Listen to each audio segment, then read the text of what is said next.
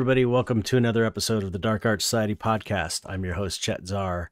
This week we've got Mitch Horowitz on again. He was on a few weeks back, and I got tons of great feedback about him being on the show. And he's got a new book out called Uncertain Places Essays on Occult and Outsider Experiences, and it's really great. And uh, he's coming on to promote it and just talk. We're going to talk about the book. We talk about all kinds of other cool stuff too. So that's coming up. And uh, let's see what's been going on. Oh, this is kind of funny. I recorded this whole intro already, but um, the the audio was screwed up, so I have to do this again.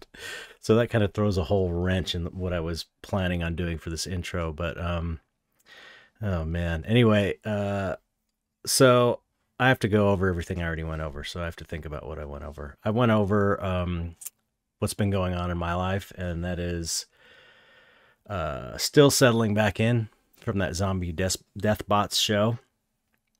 Getting ready for the holidays because that's when uh, I make most of my money. That's uh, uh, on my website. So I'm trying to get the mystery boxes ready. Uh, mystery boxes are a big seller, so I'm trying to come up with some cool stuff to put in the mystery boxes and prepping for that stuff. And just dealing with things that I had to let go while I was painting for the show. It's really uh, hard doing shows every year. I know I complain about this all the time, but it's taken me a while to get back on track. Like today's, I feel kind of normal today. Uh, but prior to today, I've been feeling like unmotivated and kind of exhausted. But I don't like sitting around and not doing anything. I really get bored easily. I just feel like I should be doing something. I like doing things, creative things. And um so I've and I have all this stuff I have to do, all these commissions and, you know, things I'm trying to catch up on. And I just have had no energy to do them and it's just been driving me nuts. So uh but I'm starting to feel better. This happens every time. I was asking my wife. This happens every time, right? Every time after a show for like a week or two, I'm all kind of, uh, and then I come back once my body gets enough rest, I suppose. Anyway, that's what I'm dealing with. Uh, but I'm feeling better. Things are going well. Um, so, uh, if you want to win a skull from the skull shop, where's the skull? Here's a skull without the jaw. S K U L L S H O P P E. They are giving away one skull a month, and I'm behind on this raffle thing, whatever it is. Um, in order to get on the get in on the raffle, I'm not going to record this again. I recorded this thing, the whole thing, and then I kept trying to do it over and over. And I probably did it 10 times and I kept screwing it up. So I'm just going to go straight through. I don't care how many fuck ups I have. Um, if you want to support the podcast, let me say that first. I am the worst. I'm the worst podcast host. I swear to God. Um, if you want to join, uh, help support the podcast, go to Dark Art Society. Uh, uh, God patreon.com slash dark art society and you can join for as little as a dollar a month and it really helps us out. If you join at the five dollar level you will be entered to win a skull from the skull shop and their web address is s-k-u-l-l-s-h-o-p-p-e dot com. Now i'm about two months or three months i don't know. There's the last couple months i haven't had time to do the drawing so i may do another one next week or or sometime this month to try and um, catch up on them. But the thing is, look, if you're watching on YouTube, I have this hat. I had all the names, and I already did the drawing on the last uh, attempt that had the messed up audio. So you can't see me do the drawing. You're just gonna have to trust me. But Rich Page is the winner this month or this week or whatever. Rich Page so you you have a free skull from the skull shop coming. So Rich Page, get in touch. I will send you an email too. Um, yeah. So okay, got that out of the way. Oh, new subscribers. Uh, if you join too at any level, you get your name read on the show, which is kind of exciting. So let's read the new subscribers. Okay, we've got Brad. Thank you so much, Brad. Um, Robin Lagosi. Robin, I know Robin from Twitter. Thank you so much for supporting. Michael Meach. Um, Michael upped his pledge. Thanks, Michael. Michael does really cool mushroom and mushroom creatures and all kinds of other stuff. Uh, Daniel Cataldo. Thank you so much, Daniel. Jordan McCleary. Thank you, Jordan. And Isabella Elise Duante. Thank you so much for supporting. You make it happen. I really appreciate it. And you allow me to create this podcast and keep it free for everyone who can't afford to support. So that's awesome. Oh, I want to give a shout out also to Kyr- Kyrgyzstan. Kyrgyzstan. That's how you say it, right? Kyrgyzstan. Is it Kyrgyz? Yeah. Kyrgyz. Yeah, Kyrgyzstan. Shout out to Kyrgyzstan. I get these reports on the podcast, and we are the number 30 podcast in Kyrgyzstan. Now, I would never have expected to be the number 30 podcast in Kyrgyzstan, so I thought I'm going to give them a shout out. So thank you for listening and supporting in Kyrgyzstan. Um, okay, that's it. Let's get on with with the Mitch Horowitz interview. Always great dude to talk to, and here we go. So hope you enjoy it. Oh, one last thing. You may notice if you're watching on YouTube that the quality is better than it used to be, and that's because I'm recording through OBS and not through Zoom anymore. Uh, so that gives better video quality, which I'm looking for. I'm, I'm I've been unhappy with the the video quality, and um, but the main show interview is like two panels next to each other. The quality's better, but it doesn't switch back and forth like it normally does between the the interviewer and the interviewee. Unless I'm missing something, I can't get it to do it. For uh, you know, maybe I'll figure out how to do it. But for now, it's side by side. I am also looking into getting another camera. If anybody is selling a Sony A7 III, hit me up because I'm looking to buy one used. That's the camera I'm trying to get. So uh, I just wanted to throw that out there. Okay, anyway, hope you like it. Here we go. Mitch Horowitz.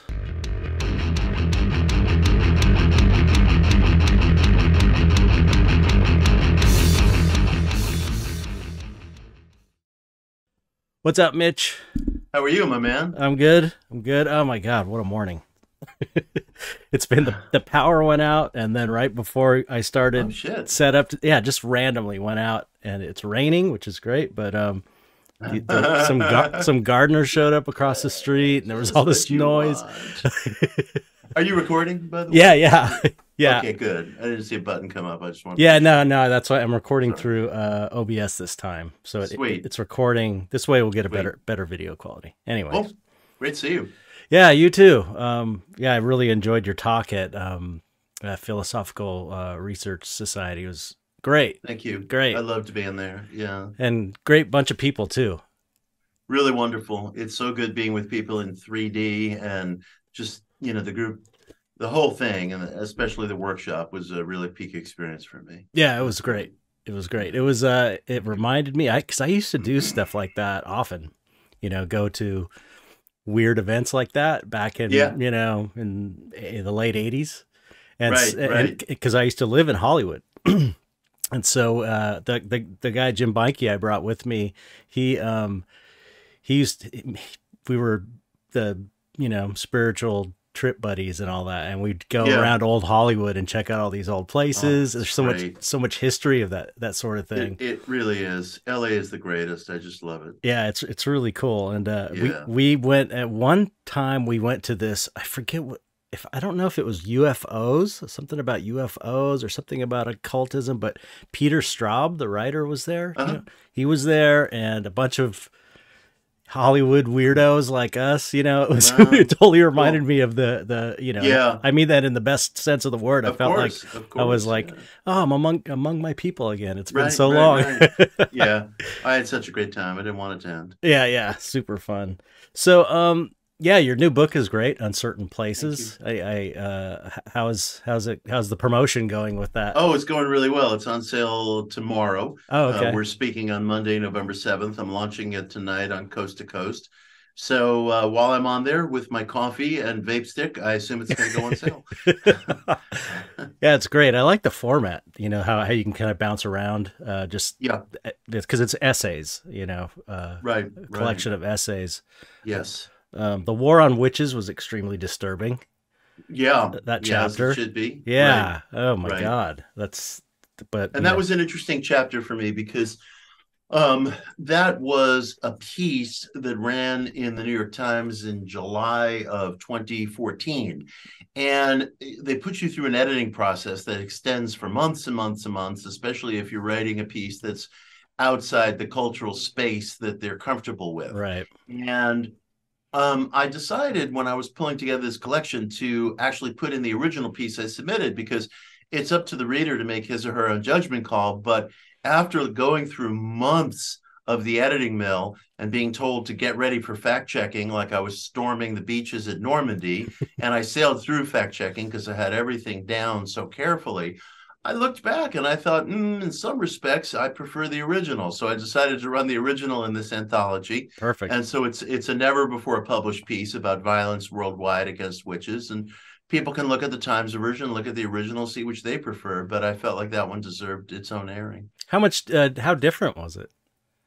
Quite different. Really? Although I don't think better. You know, I mean, they they they put you through an editing mill um, of uh, many many different rounds, and then there's the fact checking mill, which I, I pretty much sailed through because I had all my references down so cold. I mean, I mm-hmm. just built this thing like a tank, and uh, when I got back the edits, I didn't have any problem with them but I kind of felt like mm, this is just different. I'm not altogether right. convinced it's better. So I decided to run the original, and the reader can make his or her own judgment call. Yeah, that's cool. Uh, how, how do you?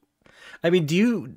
How do you know how to do the process of making something, uh, and and ironclad like that? because you're you're really big on references and backing up what you talk about, uh, yeah. which I think is really important for the kind of writing you do.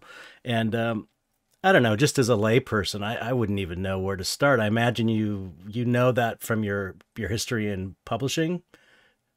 Uh, well, I guess it just comes through repeat use and and effort. Uh, yeah, I know it from publishing to some degree, and I think uh, probably I sharpened my teeth on it when I was writing Occult America.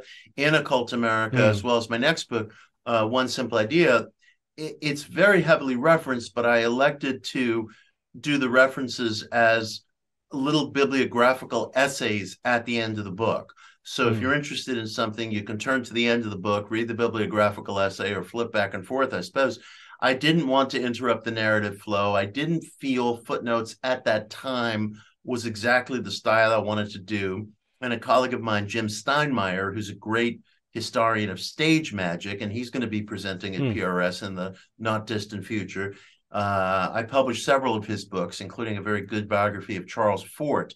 And I picked that style up from Jim, actually. He he turned his sources into bibliographical essays by chapter after each book and it gives you after at the end of of, of the book and it gives you a chance to expound on different things uh, call out certain things identify certain things that uh, you you could or couldn't do in a footnote necessarily.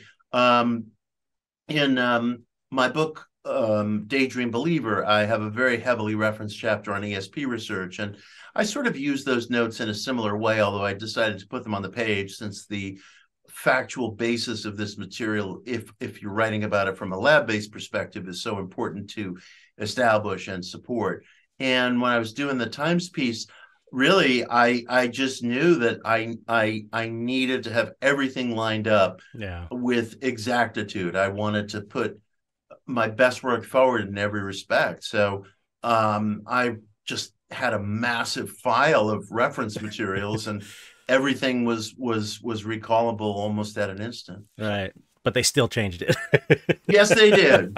They feel obligated to. The Times has been described as an editor's newspaper. They they go through and they edit and they edit and to some extent, they're bringing a unified voice to the mm-hmm. paper, which is fine.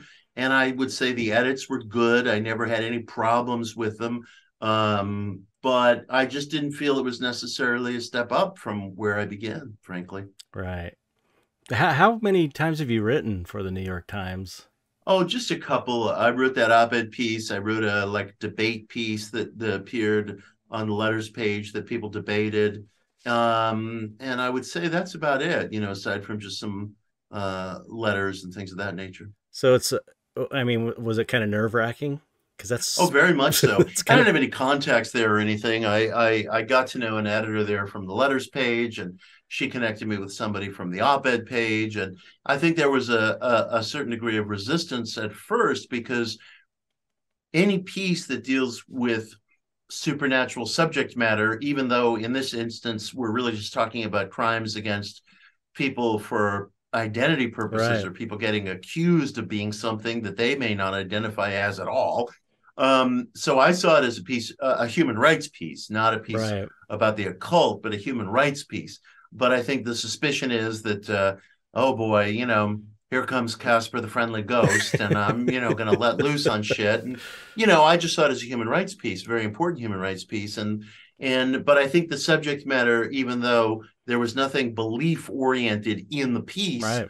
Uh, raised a lot of eyebrows, at least at that time. It's probably more relaxed now. How long, how long ago was that piece written? 2014. 20. Oh, okay. Mm-hmm. That's way back. Uh, Wow. So you were you had written what had you written back then as far as your your books?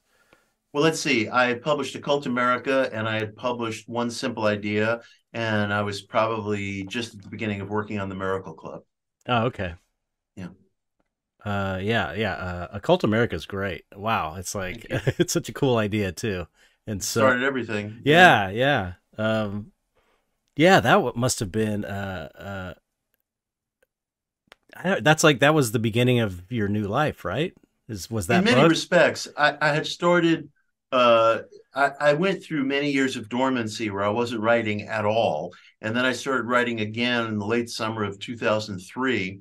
I interviewed the Major League Baseball mm. pitcher Barry Zito, wrote a piece about him, and then a couple of other interviews, and then I wrote a uh, literary kind of historical portrait of Neville Neville Goddard. And that's what really got me started because I, I think that came out in February of 2005. And I thought to myself, and I still believe, what you can do in microcosm, you can do in macrocosm. And so I knew that completing that Neville piece in a way that was satisfying to me meant that I could do that on a larger scale. And sometime thereafter, I spoke at PRS and s- spoke on uh, occultism in American history, and that really became the kernel for the um, Occult America book. I was originally going to turn that into an essay, and um, my ex-wife said to me, "That's not an essay; that's your book." And so I'm always mm. eternally grateful for that.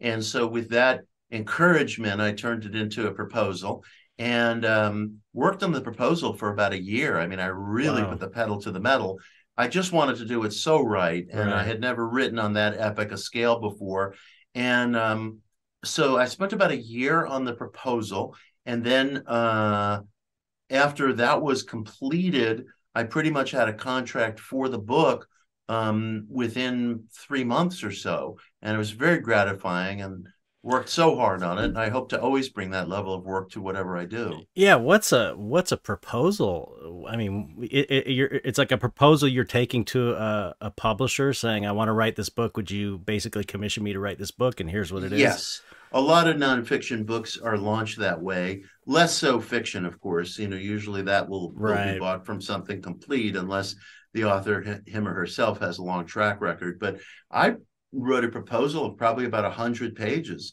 And wow. I just felt like I owed it to myself to have the roadmap, to know where I was going, to understand how this book was going to come together, and to persuade myself that I was actually capable of doing it. Right. so the proposal, I always encourage people to really go to town on proposals because, first of all, by either writing the whole thing itself, which I did do with Miracle Club, or by writing the proposal in a really, really rock solid, committed, dedicated way, including a full sample chapter and so forth, um, you demonstrate that you're all in, that you're going to write this book no matter what. And it does have a, a psychological effect, a mm-hmm. practical effect on both the writer and the publisher, because it's it's made clear I am doing this thing.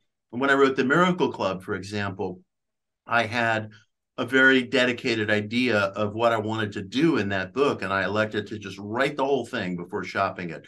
And there were people who asked me to make changes, and I said no, not because I'm uppity about making changes, but because I just didn't feel like what they were proposing was any better. I thought they were trying to make it more familiar mm-hmm. and they mm-hmm. wanted me to cut out certain things that maybe they thought wouldn't have significant appeal. And I just refused that. And Inner Traditions uh, made an offer, and I said, you know, I, I would love to be published by you guys, but this book is finished and I just wanted a light copy at it. And again, I wasn't doing any of that to be like high hat or or or or kind of um, excessively demanding. It's just that I've worked, I had worked in publishing for many many years, uh, a total of twenty seven years, and I know the strengths and weaknesses of the process. There are not, frankly, very many good editors. There are not very many hmm. good copy editors. Many of the copy editors overreach, and they really just fuck with things that they have no idea about. They change meaning, and it happened to me all the time and um, the stories I could tell. and uh, by that point, you know, having two books below my belt and and having already worked in publishing for maybe mm, 25 years, I knew what I was after, you right. know, and I I felt like, look, I'm not just going to go in and make random changes and start interjecting things that an editor thinks is going to make the book more commercial, which in effect is not the case, but is very often making the book more familiar and, uh, you know, so I would have people say to me something like, well, we don't want you to use the term new thought because that's too um, distracting for people, unfamiliar, far out. And I don't think that's true at all. I think a lot of the time um, in mainstream publishing, there is a a poorly drawn and unresearched perception between certain editorial changes and an uptick in sales and it's just not true right. it's simply not the case. Um, I, I, you know, uh, uh, there's no research whatsoever that goes on in publishing. Uh, uh, there is a little. I shouldn't say that. I mean, there's research into pricing and ebook pricing and things of that nature, but that's exceptional. And beyond that, there's not a heck of a lot of research. There's just kind of seat your pants decision making, which has a place, but that seat your pants decision making is very often done in a timorous way where you're just basically trying to make a book look and sound and feel like something that's more familiar. And to me that's not editing. Editing is for clarity and for the excellence of the vision. Right right. It seems like as an editor you the pr- primary thing you would need was to know what the vision of the author is so that you can help the author clarify their vision if they need it. Yeah. You know? And you know um my feeling is you only edit when the author's in trouble. You know, if the author mm. is in trouble, then you step in and you help with something. But if the author's not in trouble, then let it be. You know, right, right. Yeah. yeah. it's like a producer with a band, I imagine. It's like a good producer yeah. is like Steve Albini or someone where they're like, I'm here to capture the sound of the band. You know, it's their job to come up with the sound, come up with the songs, and I just capture it.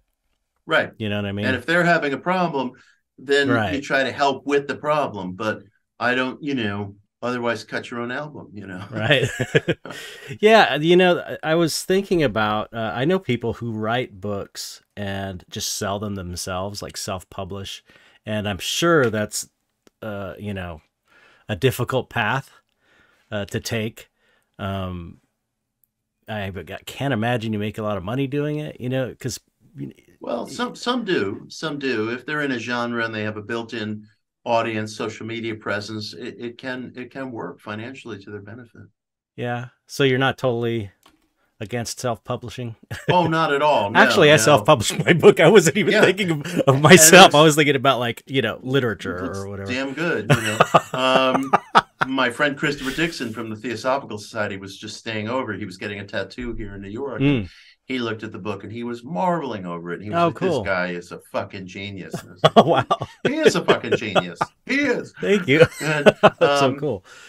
But uh, uh, uh, a lot of people do self-publish. Whitley Strieber, for example, is self-publishing right Oh, now. really? Because yeah, you know, I mean, he got tired of shopping stuff around to publishers, and and and he's got such a significant presence in the culture and on social media, as well as his his podcast and such, that he can do it, and, and it works out well for him, and he keeps um, more money and Yeah, and and cool. of course Amazon helps facilitate that uh, as long as the rules don't change overnight, which they can. yeah, And when that happens, it's scary as hell. you know? Yeah, So, right.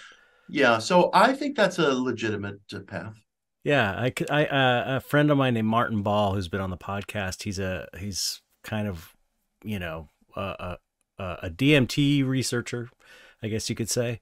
Um, really great, amazing guy, super smart guy. But he self publishes all his books, and they're like they're really good. They're really Mhm. well written, and he but he just self publishes and sells them himself. And uh, I think you know he's doing it for the love of the game more than anything. I think. Yeah, yeah, there's You something know? to be said for it. You know, yeah, if a person doesn't have that outreach, then or a track record, then it is just kind of putting a message in a bottle and throwing it out to sea. I mean, you know, no one's going to find it because Amazon and and and the publishing pipeline is so overwhelmed with new material. But right. if the individual has his or her own audience, has a name in the culture, has good outreach, it can be a very viable path. Yeah. Um, you know, you brought up Whitley Whitley Strieber. Uh, did- didn't you just interviewed him? Just interviewed him for a film festival that's being run by Screen Slate, and that's going to be at the Anthology Film Archives here in New York City. Uh, they're showing um, a festival of UFO themed films, and I'm going to be introducing Communion and Close Encounters.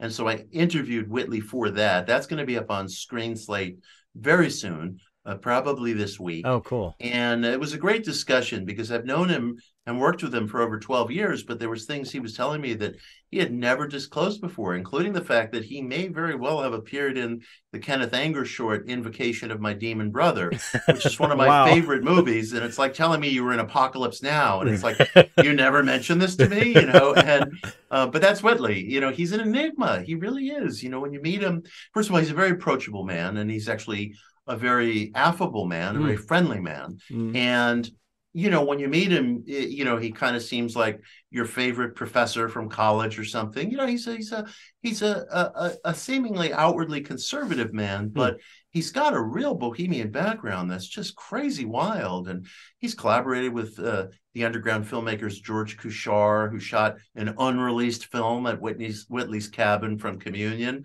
and uh, and and and and was on the set uh, with Anger when he was filming. Whitley's not one hundred percent sure it's him in the movie. He was like, "It really looks like me, but I can't tell you for sure." and it was just that kind of time. It was 1969, and and Anger was in London to shoot the Rolling Stones memorial concert to Brian Jones, and he shot part of Invocation of My Demon Brother there, and and probably the majority of it in San Francisco. Uh, so we talk about that and a lot of wide-ranging things I had not known about Whitley. Yeah, that reminds me. Um, I mentioned, I think, on Twitter uh, about the, my wife having seen this weird thing when she was a little girl, Yes, and it was, and it was, you know, when I saw, I haven't read, I don't think I've read Communion. I may have read it in, you know, when it came out, possibly, but um, I know I have it. But um, you know, I've got, I got a ton of books. It's like Sure. everywhere, and I just haven't, you know, I don't have time to read them. Um, but uh, you know that weird little toy thing that floated in Yeah, and had that weird round eyes and like Yeah. it- okay.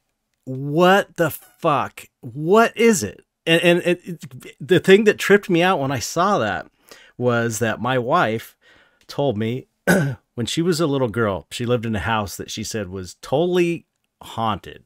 Mhm. and but it wasn't like ghosts necessarily it was just weird shit would happen like Mhm. one time she saw uh what's i mean this is actually a weird kind of cosmic thing um i talk about it in my documentary where we we met through Beinke, jim Beinke, the friend i brought to the to the Oh. show mm-hmm. we were both friends, and he knew Lisa, my wife, and uh, he said he was telling me this story about how she when she was a little kid she saw the boogeyman. And i was like oh tell me about this. And so he uh, explained that she saw a, a man like in his did i tell you this before?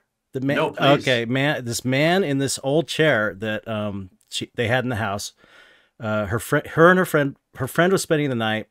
It was late at night. There were i don't know six or seven or something and she saw this man just sitting in the chair that was made out of like dots of light like a t she said it looked like a tv like an old old fashioned tube mm-hmm. tv little mm-hmm. dots of light and he was wearing a zoot suit like a 40s gangster zoot suit and wow. he and he had kind of this flat face with this slit you know slit for a mouth was slightly curved and then just two slits for eyes and i think a horn right here wow. where the third eye would be and he told me that and i I was in high school at the time because my wife's like five years older than me, and, and is like five years older than me too. So I was I was in high school. He was a friend of a friend of my brother's. They were at Cal Arts in college.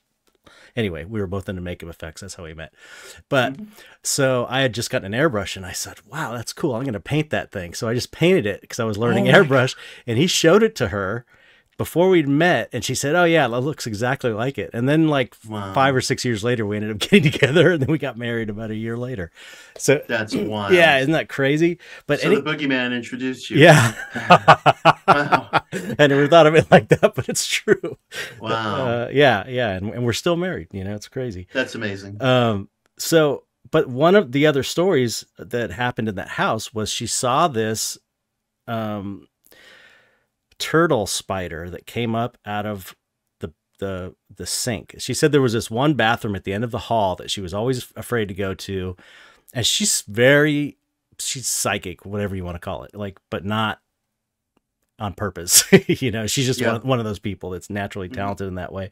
Um, and she said she went into the bathroom, and this little spy, tur- a turtle shell thing with spider legs, like a turtle with spider legs and a, and a little head, like a weird little turtle head that was kind of smooth with these black, perfectly round eyes and a smile. It was like a smiley face face on it. Wow. And it came up and like poked its head up and it was smiling at her. And, you know, she said she saw it like, you know, and it reminded me of that, that uh, thing from communion, that, yeah, that weird yeah. cartoony, uh, why would it be like that? You know, non-organic looking, right? And it's just right. completely confounding to me. You know, a lot of things like that occur around communion. You know, people will see things in it, uh, both the book and I assume the movie that arouse some sense of recollection, and it's very archetypal and um, I mean, even the cover of the original Communion itself is one of the first iconic paintings right. of the Greys, and it looks so eerily familiar to mm-hmm. Aleister Crowley's drawing of right. the figure Lam, the entity who visited him. I guess that was in the 1930s, maybe 1920s. I'm not sure. And um, and and and and Whitley and his wife Anne, who's who's now deceased, received thousands of letters from people really pouring their hearts out, telling them that that book made them feel unalone for the first time mm. because they had had such encounters, call them what you will, that they couldn't uh, talk about, or that if they did talk about, made them feel only all the more isolated and so forth. And that book has a huge uh, effect on people. It taps something very deep in people's psyches. And for me, it's a great record of the paranormal because the book and and I always recommend it to to writers uh, and to aspiring writers the book is very steeped in detail Whitley gives names and dates and locales and I really appreciated that you know he's very very meticulous in that book of laying out everything and I just feel it's a model of its kind and hmm. and rarely matched by anything. Well, I'm gonna get the audio book because because that's that's the only way I have time to read nowadays. Yeah. Unfortunately, because I I am a huge reader. I used to be a huge reader when I was a kid. I'm the kind of person if I get a, a book, I'll sit down and like the whole day will be gone. Yeah. Like I just yeah. will not stop because I love reading so much. But you know, the way my life is now, I have to do audiobooks. But um, which I have yours on pre-order. I'm waiting Oh, for cool. it to come out because I do love. I, I wanted to mention um, uh, your audiobooks are really great. You you. know, and it's like usually I prefer reading, but your audiobooks because your uh, narration is so good, they're like to me they're like equivalent, which I've Thank I've you. never uh, thought that about an audiobook before. Um, and you. I've heard other people say this too. They like your speaking Thank voice. I appreciate it very much. You know, it's it's a funny thing narrating an audiobook. You're not an actor. You don't want to be giving a performance, but you still have to bring inflection to it. hmm and you still have to get across certain points of emphasis. And sometimes you'll be speaking in a character's voice, and you don't want to just be speaking in this monotone way. Right. So you're, you're bringing something of the expression or the emotion to it without it being a full blown performance, because you also want it to be enough of a tabula rasa so that the reader or the listener is having his or her own experience. Just like with the page design of a book, you know, I would always say to designers, the design is supposed to facilitate the reader's experience, not show how snappy the Right. designer can be, but but but facilitate the reading experience. And likewise, a good narration should facilitate the listening experience, you know, and and not lead the reader by the nose to experience things in a certain way, but give an inflection that's faithful to the book, but that still is neutral enough so that the individual has his or her own experience. So that narration, narrating audiobooks has just been like a huge joy for me. Hmm. And um, a recent nar- narration that just came out is Neville Goddard's Final Lectures. And I worked really hard on Oh, that. you I wrote a- narrated that? Yes. Oh, yes. cool. Okay. Yeah, and I wrote a really detailed uh, introduction about Neville's uh, death, and um, I uh, yeah, I, re- I read uh, that uh, on Medium. I think was was that on Medium? oh, I don't think I put it up here on Medium yet. I might have put it on Patreon, Oh, okay. and right, right. um, and so I wrote a really detailed uh, introduction, having chased down Neville's death certificate and Mhm. trying to weave together its details with other few details of his death to give a a, a- full picture and, and a well documented picture. And then the remainder is Neville's lectures, such as the record still exists that he gave in his final year, with a number of notes uh, that I added just to clarify literary references or news references. And sometimes he would make reference to an extraordinary event in the news, and I'd go and I'd look it up and I'd find it's dead to rights what Neville said, and uh, equally uncanny. And and and so I provide a number of annotations just to direct people to a reference when he's very specific about something. Um, like for example, in one of his lectures in May of 1972, he talks about how an ocean liner, a passenger liner called the Queen Elizabeth II, was uh, received a a hoax uh, bomb threat, and they were told that there was a bomb on board, and unless such and such a sum of money was delivered to such and such an account, uh, the bomb would go off. And turns out um, that uh, hoax bomb threat occurred just about uh, maybe 18 hours after the ship had set sail, the night before, a young woman who was in a creative writing course at Hunter College here in New York City had written a short story exactly on that theme of a hoax bomb threat or, or an attempt to hijack an ocean liner at sea for a certain sum of money with a threat to do such and such. And and and and so after this incident occurred cops are investigating her they're investigating the students in the class to see whoa did somebody take this idea and actually act on it and there was a story written about this young woman by joseph lelyveld who i knew who had been later the executive editor of the times and um, I didn't really know him, but I had just been interviewed by him on one occasion. And so Lelyveld writes this full story about this young woman. Neither she nor any of the classmates or the professor or anything uh, had any connection to this hoax bomb threat, but it mirrored her story in very significant ways, enough so that the police were seriously interested. And Neville's point was, look, there you go. Everything begins as an idea. You never know where it's going to travel.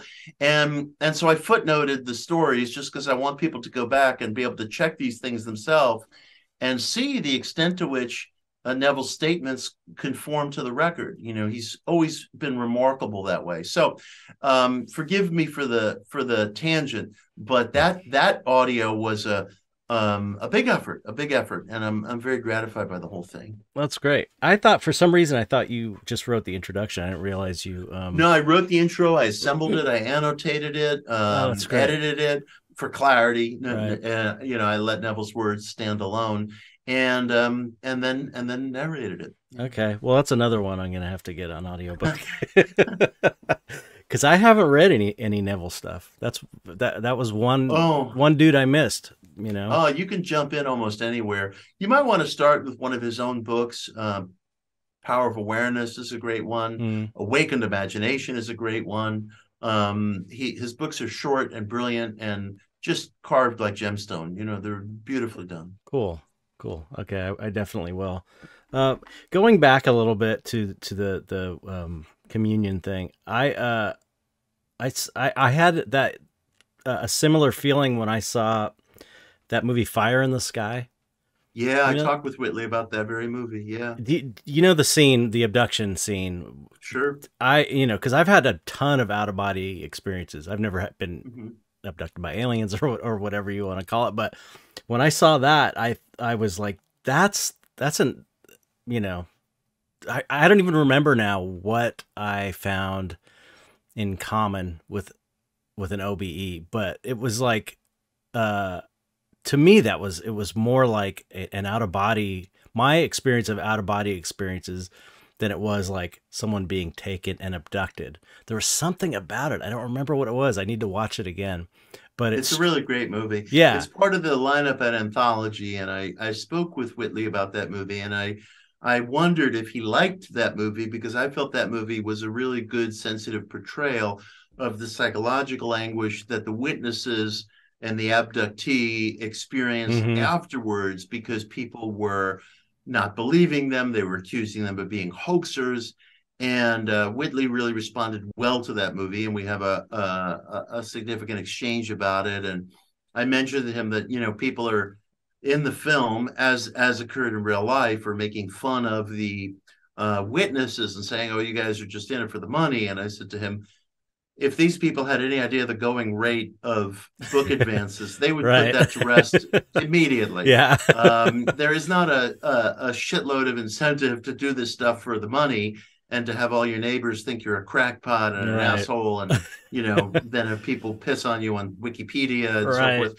And so um, it, it's a lot of bravery, you know, that it takes. And um, I love when the uh, um, these tin tin pot skeptics you know say like you know you're you're just doing this for the money. And it's like dude if you knew the first thing about money and if you've ever been in a position in your life where you haven't had money yeah. uh, i can assure you you would not think of being you know an abductee, a witness, or an occult historian because that's right. the fucking path. That's the path to easy street. exactly. You know? it's so I don't know, you know, what walks of life these people come from. Yeah. Only someone with money would ever think that, like, you know, the paranormal would be the way right. that, you know, an enterprising person would decide to seek money in this. You know, it's ridiculous. Yeah, I remember. I was. I remember. I was at one time. I was accused. Of course, it was a, a political dig at me. Um, say someone said, "Oh, you're a, oh, you're really working class, a second generation artist living in California." Like that made that meant I'm rich. It's like, yeah, my right. dad was an artist and he was broke as shit while we were growing right. up. And His I, painters just fucking clean up. I mean, Jesus. That's why Van Gogh got into it, you know. yeah, but it's like you know the people's. Uh, I guess you know people's understanding are like you know if you can make a living doing creating art or you're a writer, you're just you're raking in the bucks, and it's like no. no. Yeah, and it's like, look, you know, there's two different classes of of artists. I mean, some are born into it in the sense that they come from a very august, uh, uh, uh, literary or media Right. background, and then they can really fast track it. Right. Um, but if dad was a painter and mom was a noise artist, um, that is not, you know, a path to financial security uh, typically. And um, yeah, it's it's ridiculous. Yeah, but uh, you know, people don't know. People don't know. It's like one of it's like anything. You get into a, a field and you realize it's like, oh, this is just kind of like the rest of normal life. Like, you know, as a kid wanting to get into the movie business, it was like you know, such a big, amazing uh uh you know, it's an exalted idea that you're that you're Yeah. gonna be making movies, and then you get there and it's like it's just like another job. It's cool and everything, but it's like another Yeah. job. And and I'm sure it's like that in publishing and it's like that and it's like that in the fine art world. I thought like, Mhm. oh, I, I reached a plateau in makeup effects in the film industry. So I'm gonna go to the highest thing I can think of, which is fine art. And I you know, I get to paint whatever I want, which is amazing. You know, I I love that. And it is great. And I'm not complaining, but it's a job. And there's Sure. networking with galleries and galleries run like Absolutely. businesses and they're just people you Yeah. know and you just have to kind of get in there and i'm sure it's like that in writing and publishing it's like Oh, sure. You You, know, know? look, people sometimes get book contracts from major publishers and they think, wow, my ship has come in. And, you know, it's, it's, it gives you an imprimatur of legitimacy for sure. Mhm. And there are Right. benefits that come from that without question. definitely But uh, in terms of the promotion and the outreach and what to expect from the publisher, to a very substantial degree, you are out there on your own. And um, um, the publisher, if they're good, will help. But I mean, my God, you know, it's just one more galley that's going out to a show that's getting thousands of them a week. And right so much of it still comes down to the individual. okay i wrote a few things down Cause right. I, cause, and I, I don't usually write stuff down I am on me. but but I these are things I have thought, you know, over the last I don't know as long as I've been aware of. Well, I guess maybe since the last over the last month or so, regarding. I wonder what Mitch thinks. So I did write them down, um, just cur- just out of curiosity. The one thing that I didn't write down, um, uh, going back to the OBE alien abduction thing, is I find that a more uh, likely possibility that yeah, alien abductions are more related to out of body experiences than they are to, you know, people physically kind of being taken Mhm. away in a spaceship. There's Yeah. some kind of relationship, like they're they're related for sure, don't you think? Like I out of do, out of bodies and like all dimensions and dimensions of the mind. It's like so confusing though. Well, one of the things I write about in the first chapter of Uncertain Places is the question of whether the UFO thesis is an experience of interdimensional Yeah. activities, uh, whether certain individuals through their psyche are able to perceive or travel among different intersections of time, different interdimension, different dimensions, which is not as far out a, a, a thesis as it sounds, because so many things that come out of quantum mechanics, quantum theory, um, psychical research, um, different perceptual studies of the manner in which experience concretizes as reality, sometimes in very plain and clear ways, like neuroplasticity or the Mhm. placebo response, other times in more um, theoretical ways as we're trying to understand what, what the effect of the observer is and the actualizing effect of the observer in the measurement process uh, within quantum mechanics, which is not limited to just tiny particles alone, but goes into other areas as well, and uh, including actually uh, Bell's theorem, which allows us to measure the differences that different objects elicit over one another, bends in space time, which we know are absolute facts, which are provable and mm-hmm. demonstrable. All these things layered atop together make it easier to talk about different dimensions or or intersections of time if we assume that there's an infinitude of now and that there's right.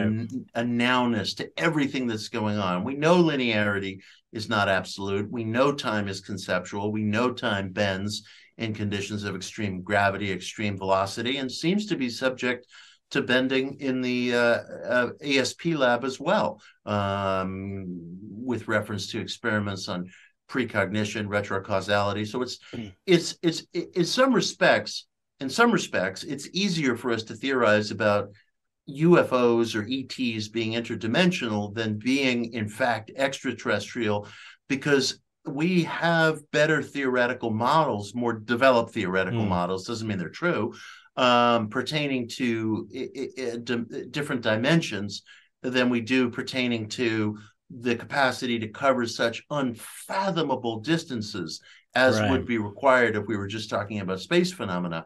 And so that's one thing. And, and another is that in this conversation I had with Whitley that's forthcoming, his wife Anne uh, curated the thousands and thousands of letters that they received in connection with communion. And she felt absolutely persuaded that the the the ET thesis or the, the the phenomena of the visitors as recorded in communion and as recorded in the vast uh, catalog of letters that Whitley and Anne received, uh, she felt that it correlated with uh, after death experience and that the only that there there was absolutely and without question an intersection between the uh, visitor's experience, the after death experience, that they were intimately linked. So, you know, in that vein, I mean, we talk about after death experience. That's related to out of body experience right. in the sense that there's some non physical self that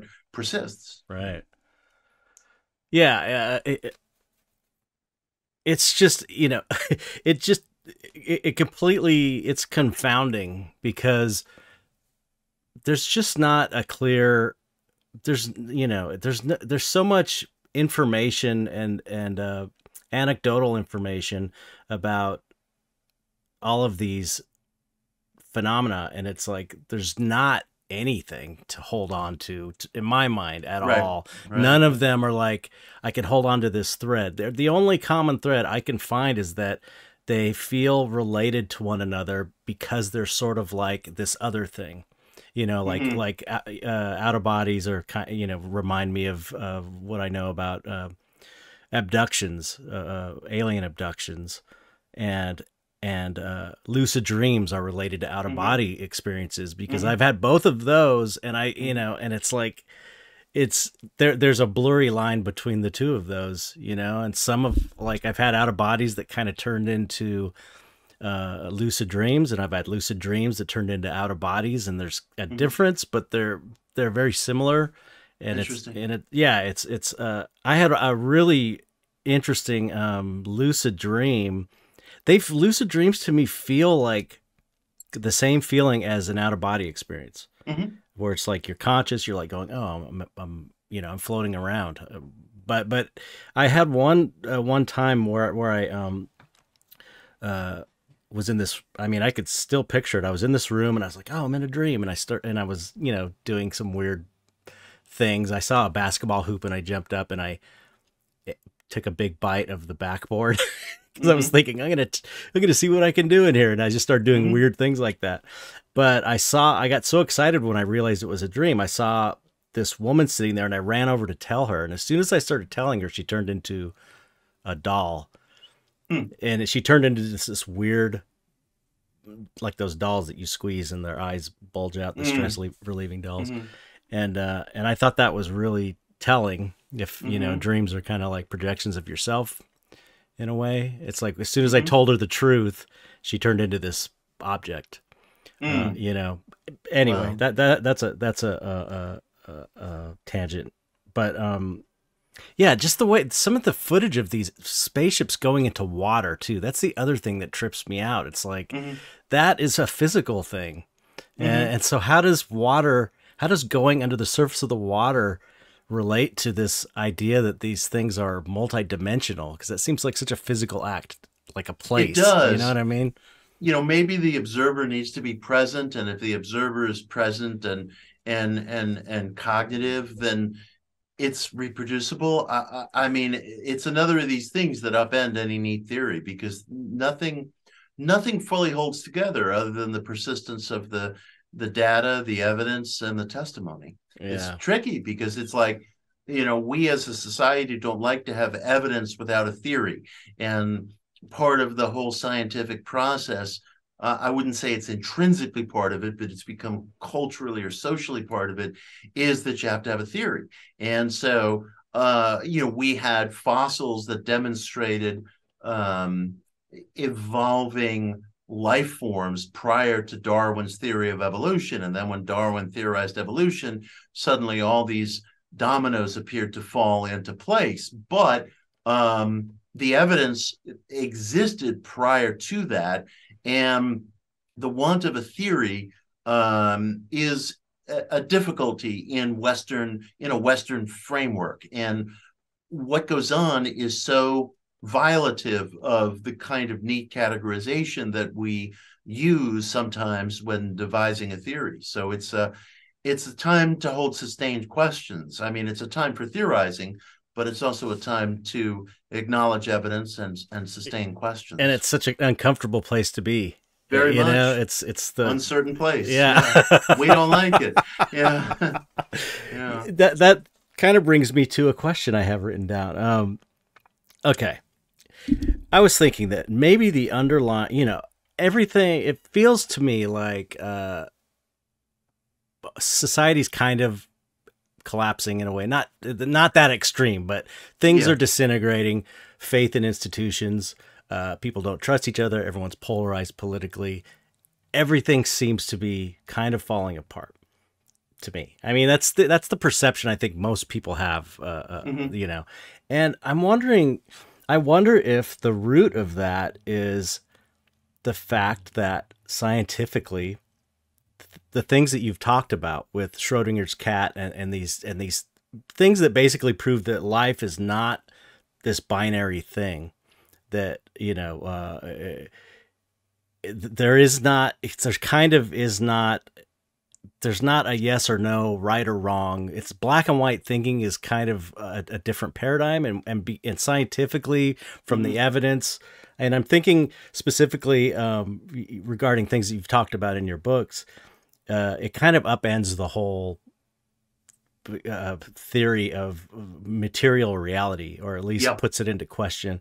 So I I wonder, and it's and you know you talk about scientists not wanting to accept this data that proves that that's you know that's not that scientific materialism is not necessarily the way reality truly is, and I don't I just wonder if this you know the is the underlying root of the colla- of the disintegration of everything because that's the foundation of of everything that this kind of this kind of uh, scientific materialism type of worldview well it's very interesting um, the founders of quantum mechanics were all i think to a person philosophical idealists they believed in a perceptual basis of reality measurable empirical reality. Mm-hmm. So the founders of what we consider today to be world class science were philosophical idealists or perceptualists.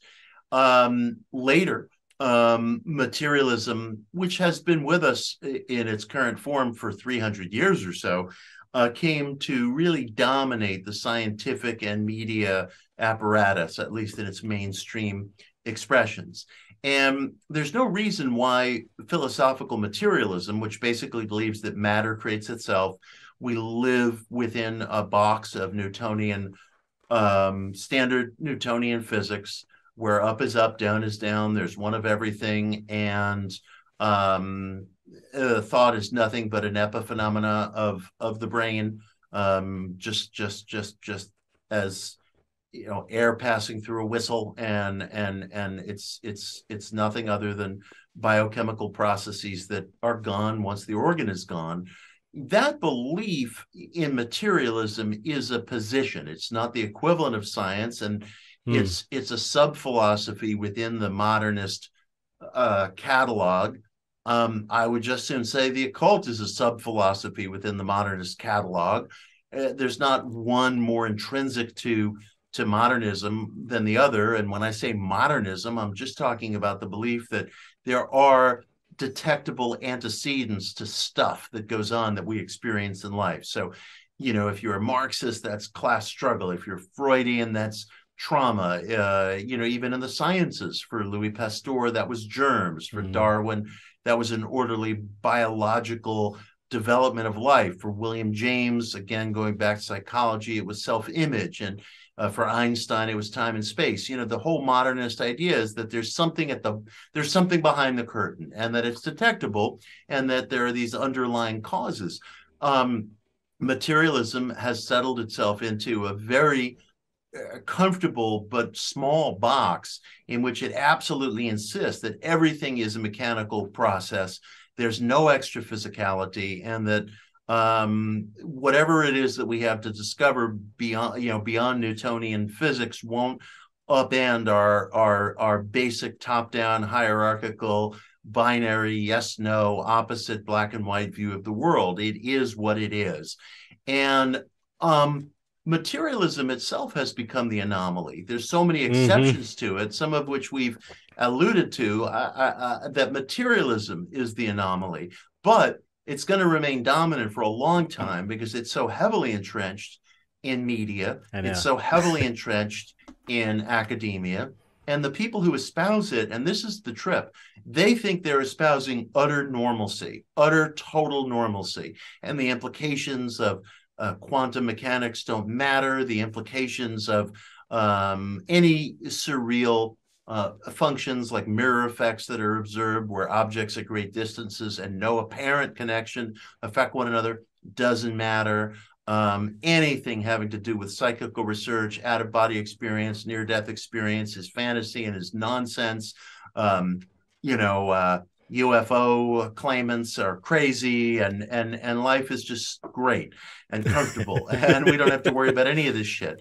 And and and and yet, you know, it's easy for them at the present to dismiss certain testimony, uh, and and and I suppose um, maybe because of the overwhelming force of familiarity and common observation back of their claims, it's it's just as easy to not think about the implications of neuroplasticity, uh, not to think about the implications of some of the more advanced placebo studies, not to think about the implications of quantum mechanics, and so on and so forth.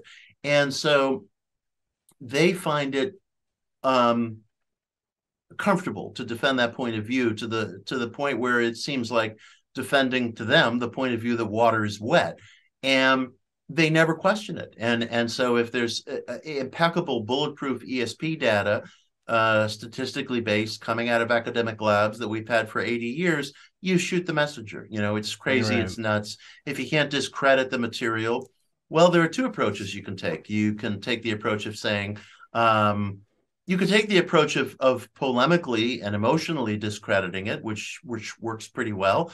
Uh, it's done pretty well for you know the the uh, mob skeptics uh, who crowdsource um, uh, Wikipedia and and yeah. troll articles about you know anything having to do with uh, ESP parapsychology.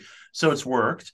Um, and and for those who are maybe a smidge more searching or honest uh, they might call into question the overall method by which we gather statistics which is a reasonable question but but you don't make the poster child for that uh, that method's problems uh, research that's been conducted impeccably. Right. If the if the starting point is ESP isn't real because ESP isn't real, then you've got to either discredit the research or discredit the whole model on which it's based. And um, the former, discrediting the research, usually leads into emotion and polemic and, frankly, dishonesty.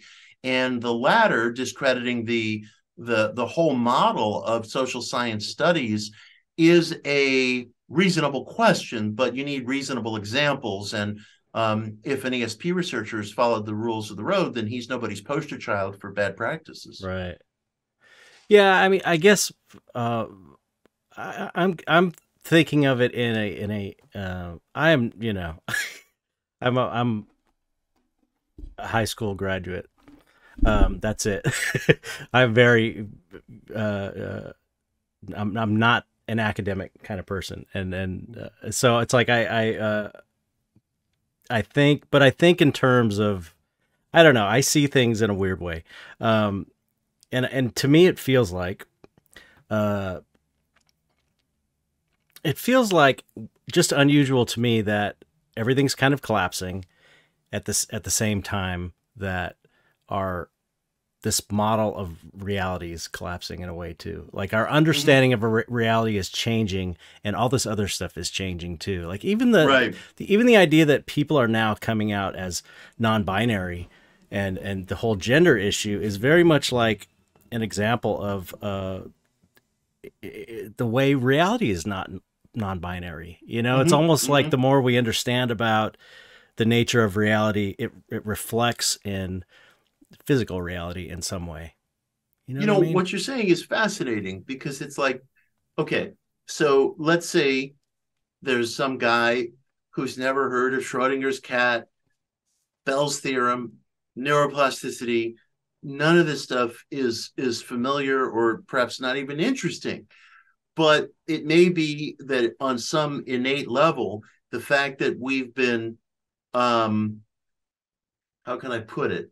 The fact that that we've been kind of messing with the consensus of what reality is over the say the past century at mm. this point you know ever since the advent of parapsychology as a field quantum mechanics and so forth shit is coming apart quietly but persistently and that may seep into the groundwater of everybody's perception.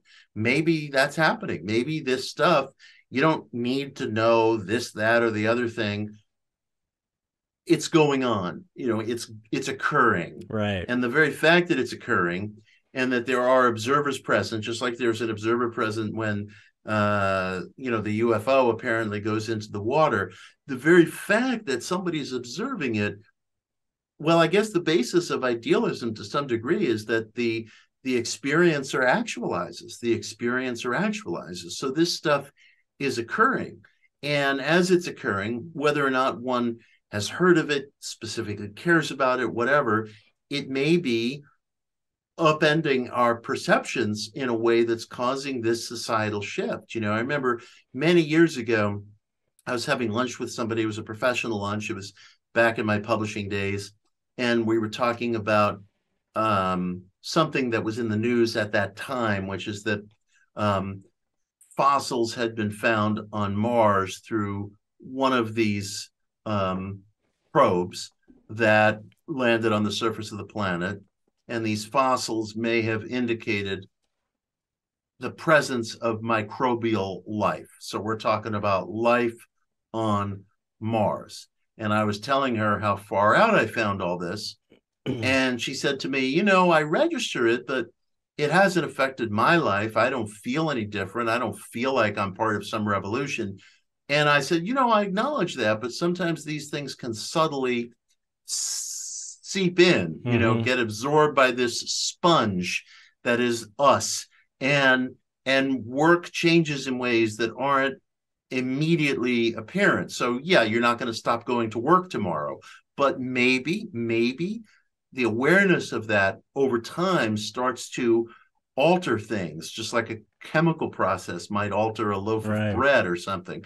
How much yeast is there in it? And, and, and so the leavening can take a while, but maybe that's exactly what you're describing.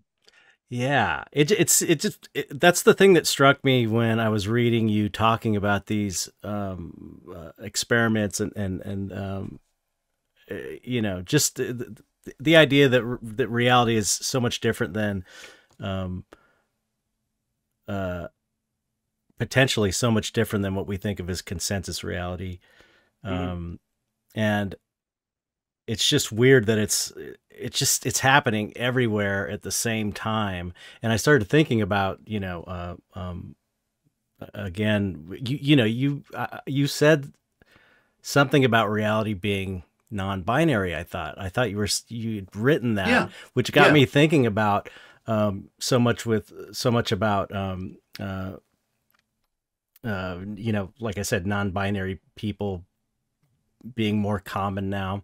It's still Right. not, still not a huge thing, but um, it you know, and then you've got this huge, you know, people people that accept consensus reality cannot deal with the fact that there's non-binary people, and a lot of that has to do with the media media they consume and stuff like that.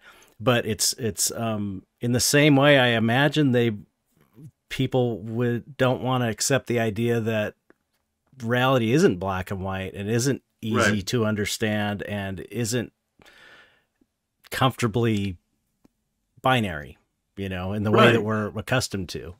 we're very accustomed to thinking in opposites and that can be useful perhaps in some ways but it can also really hem us in to absolutes when absolutes might not be explaining things for us as a model so for example you know we all very frequently think both in psychological terms and physical terms as there being this magic bullet that's going to solve something. So if somebody's going to therapy, for example, and they're like, you know, why am I so fucked up? You know, and there's got to be a reason, you know, and it was because this, it was because that. But very often when we're having a problem, it's a complexity of things, and there may be a complexity of solutions. And what happens with the professional skeptics, for example, is that you'll bring up um, the placebo response and they'll say, "Oh, that's nothing but endorphins being released in the body, or it's nothing but inflammation reducing Right. enzymes being released in the body." And it's like that may be one of the things that's going on, but what would lead you to conclude that that's the only thing Right. that's going on? And if endorphins are getting released, well, that might be one one that might be what the prayer response looks like in the body. That Right, might be right. what hopeful expectancy looks like in the body there might also be a number of other things going on.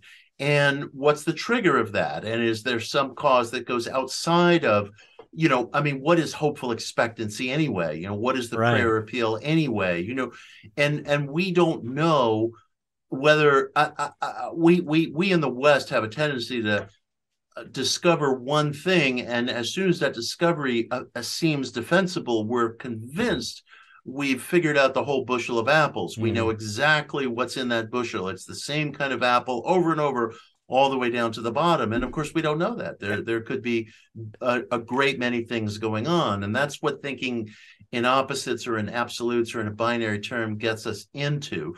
Is this expectation that there's going to be this one thing that Right. determines everything. Yeah, yeah.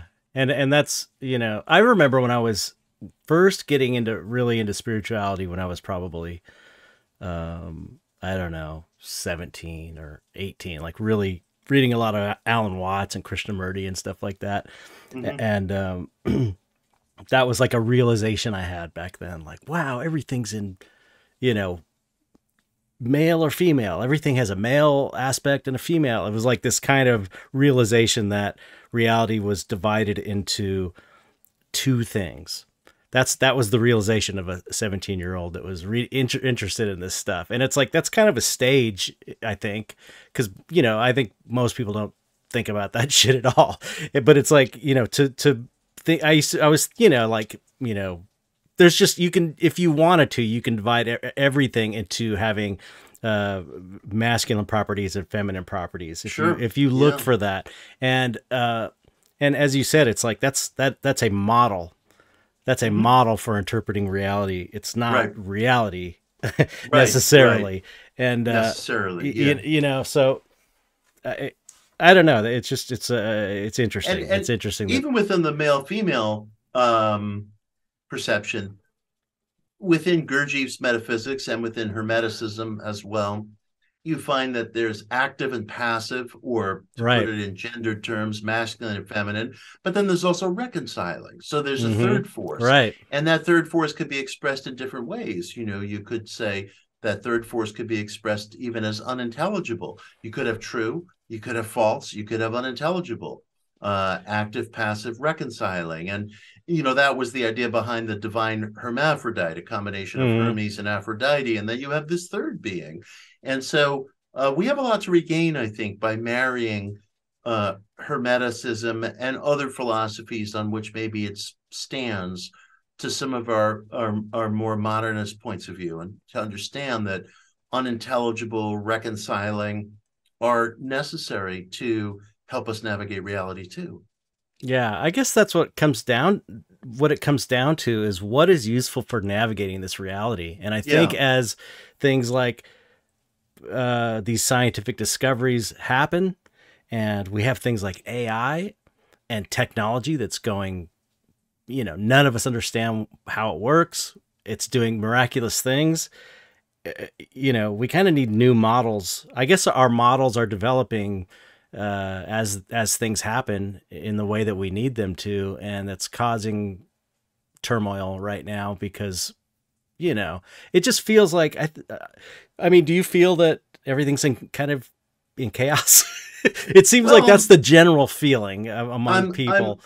I'm, I'm kind of waiting, you know. I mean, I'm watching very carefully. Um, I mean, sometimes this comes out in our politics. You know, tomorrow is is yeah. an election day, and I assume Trump is going to announce his campaign any day now, and it's like that's going to unleash a lot of energy, and that's yeah. and again, you know, when I say energy, it's exactly you know to your point. That's just a metaphor. I mean, right. I could say energy, vibration, dimension. These are all just generalities that I use to get a point across. Um, they're concepts and and there's going to be a lot of energy unleashed and what that is and how to understand that and what that means I don't know, but it warrants watching really, really carefully. Yeah.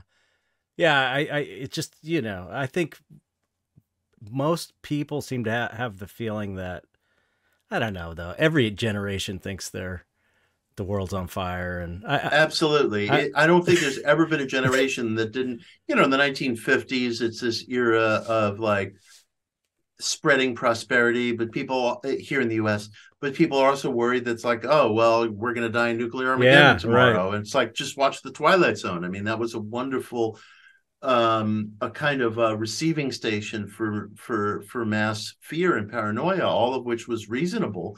Um, and the idea that your neighbor is going to turn against you, the idea that uh, you, you, know um, everything you know could could could vanish tomorrow, including your own identity. Um, so that was very active in people's psyches in the 50s and and i don't think there's ever been a generation at peace or at war um, during periods of, of of status quo during periods of upheaval that didn't feel itself on some sort of precipice. So you know we, we have to keep that in mind for perspective as well. Yeah I, have been listening to this uh, uh, bob dylan's autobiography. Mm-hmm. um, Re- oh, is that the one that Sean Penn read? Yeah, yeah, yeah. I like that book a lot. Yeah, it's yeah. great, and Sean Penn is great because it's like he, he feels like you're listening to Bob, Bob Dylan speaking, yeah. which is cool. Yeah. Um, and just him talking about the the turmoil of the times. It's like, you know, he's like he's it's like he's talking about today, you know, yeah. and and it you know, it sounded crazy from from the descriptions of riots in all these different towns all over the country and, and big cities and and the the civil unrest. And it's like it sounds exactly like uh, uh, today, but uh, mm-hmm. it, it's I just it just kind of struck me. Uh, you know, great book. Yeah, yeah, yeah. I'm enjoying it. I'm enjoying it. It's I uh, of course I'm relating it to magic a bit and and um I guess the satanic or the dark uh, uh, art thing in a way because mm-hmm, you know mm-hmm. he, he he was speaking about you know he mentioned shamanism a bit and he's talking mm-hmm. about the magic of creating music and he's also talking about having a uh, fascination with like some weird you know weird stuff like uh I forget. Uh, he's talking about how in this apartment he's staying, there's like books on graveyards and and weird phenomenon, and how he's kind of mm-hmm. attracted to that stuff, and just his whole attitude is kind of dark in that in that way that we've discussed before. Uh, uh, not not the evil dark, but you know the the the the, the satanic in the way that you describe it. It's like, uh, I was like, you know, he's basically like that. you know? Yeah, and he would tease with these ideas. You know, I mean, Dylan.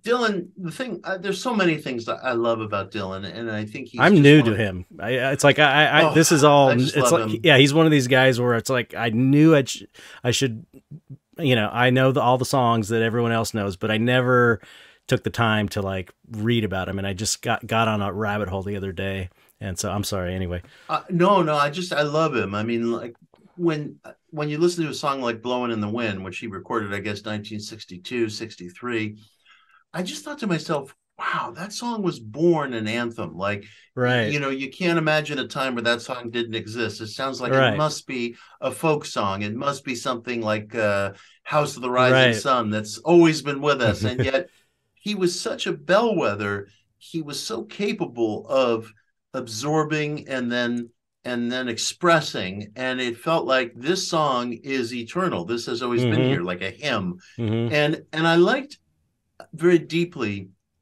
how Dylan would take a position and then maybe he would change his position, but he would never feel a need to apologize for it or to explain it away or to say, I'm no longer that way. Like, because he doesn't have to do that. That's the freedom of the search.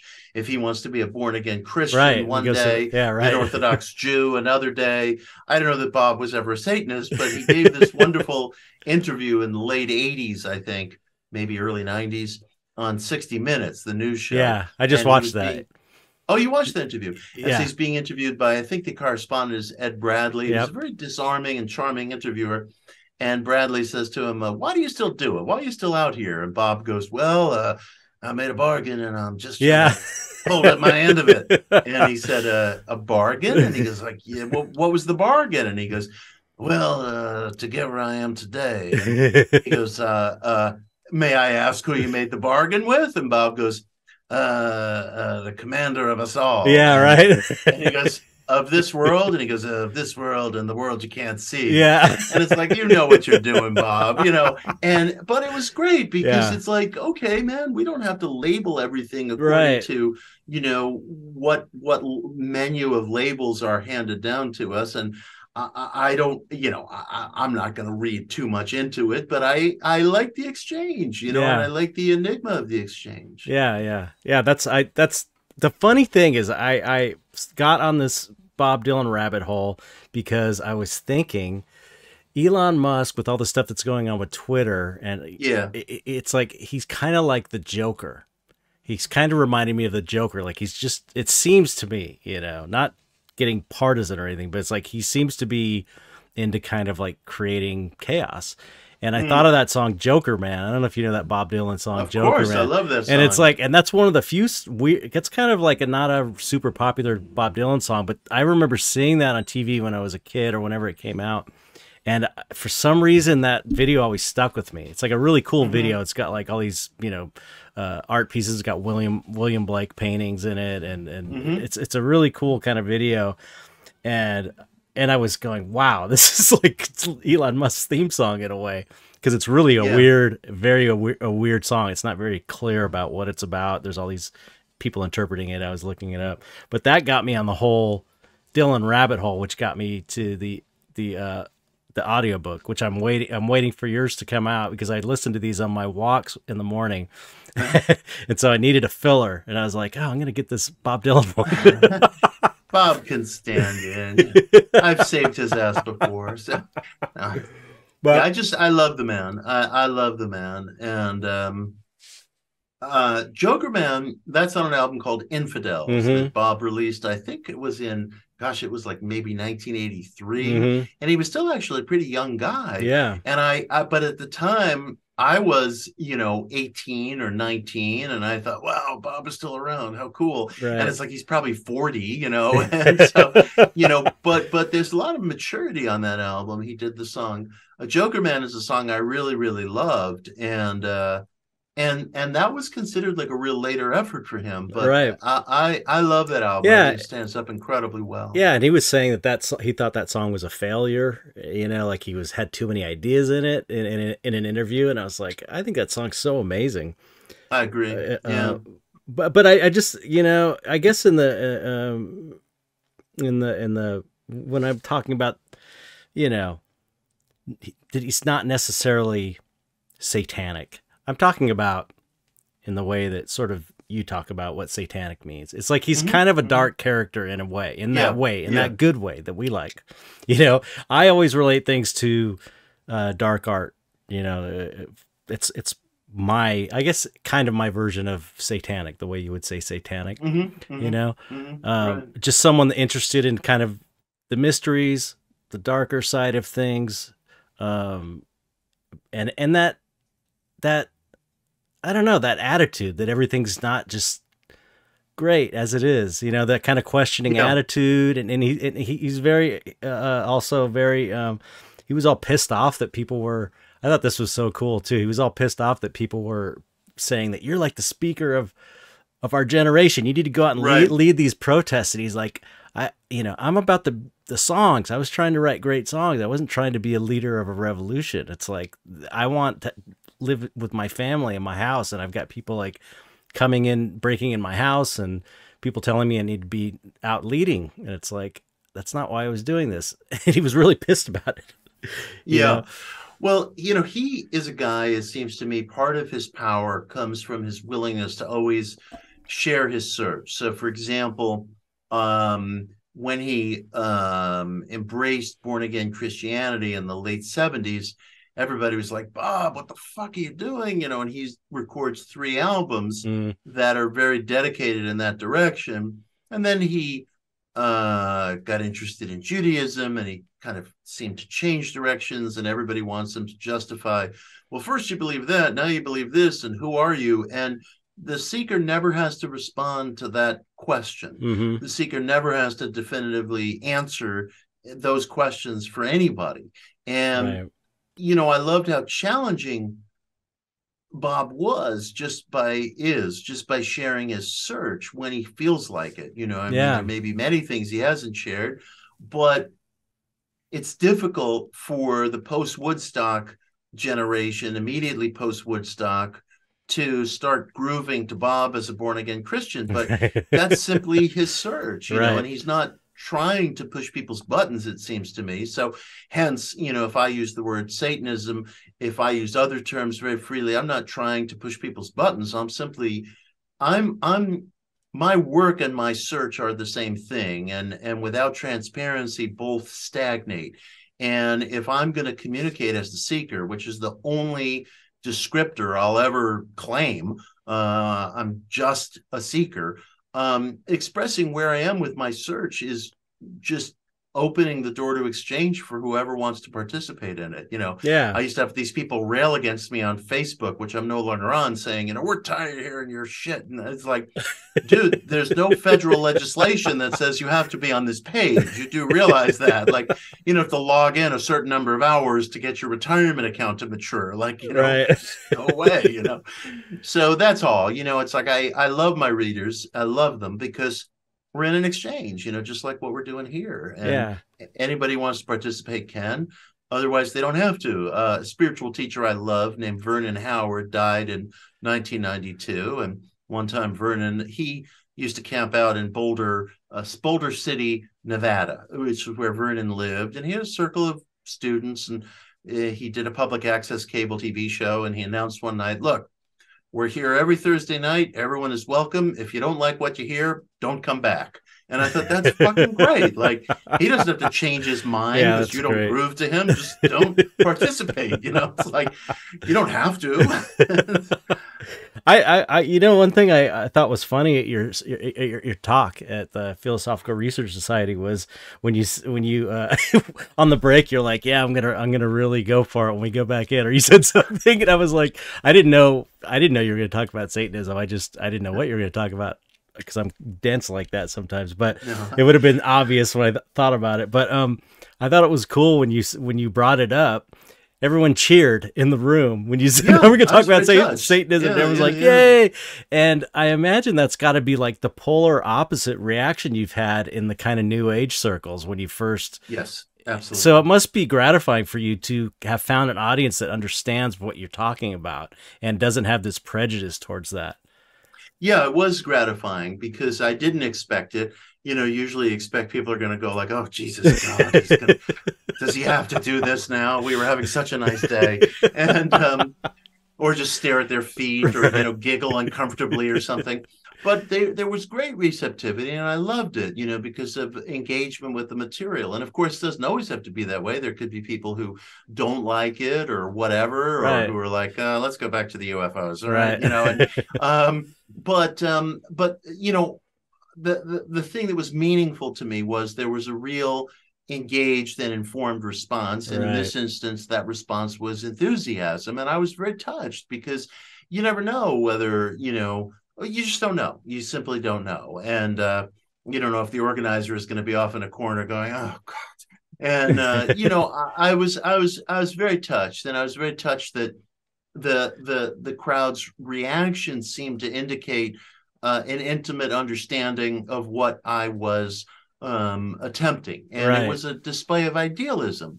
And that's so necessary on the search. I mean, you can't be a cynic on the path. Like if you're a cynic, then what what are you doing any of this for? There's nothing yeah. left to discover. And and that's that. But I I was really very pleasantly surprised and and very happy. And I was glad they were happy too, because they felt I was being transparent with them. I was talking straight with them. I wasn't saying like, oh, you know, I don't want to step on the third rail right. or bother anybody. so I'm just gonna, you know, stay in this you know safer corner you know because how is that in the service of of searching together so uh i was very moved by it yeah i think i think every you know the the enthusiasm was was because they wanted you to talk about that mm-hmm. they wanted it you know and and um it's it's funny because my understanding is that's just one aspect of your search the satan mm-hmm. satanism is one aspect mm-hmm. of your search and you don't right. like you're not like uh uh uh, hanging your hat on that or pushing that and being like this is i'm the satanist guy i'm the satanist guy like like making right, marketing right. yourself as like i'm gonna right. ride this thing uh, uh, to to a million dollars it's like you just are you reveal it in an honest way um yeah. as part of your search and um i just thought it was cool that that that the whole room seemed to get it, including the people that ran the place. Because, because you know, my my feeling. I mean, I don't know if anything beside behind the scenes, but you know, my feeling about that place is it's you, you wouldn't expect.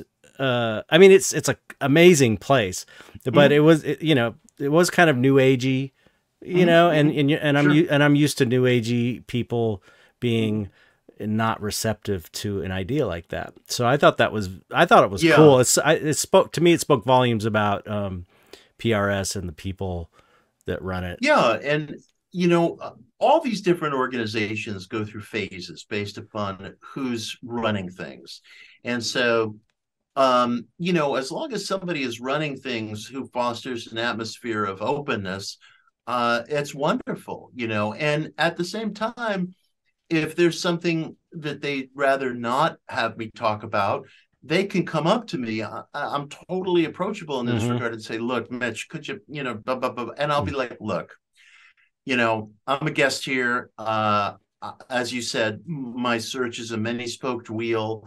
I don't feel silenced or offended or bothered right. if you know."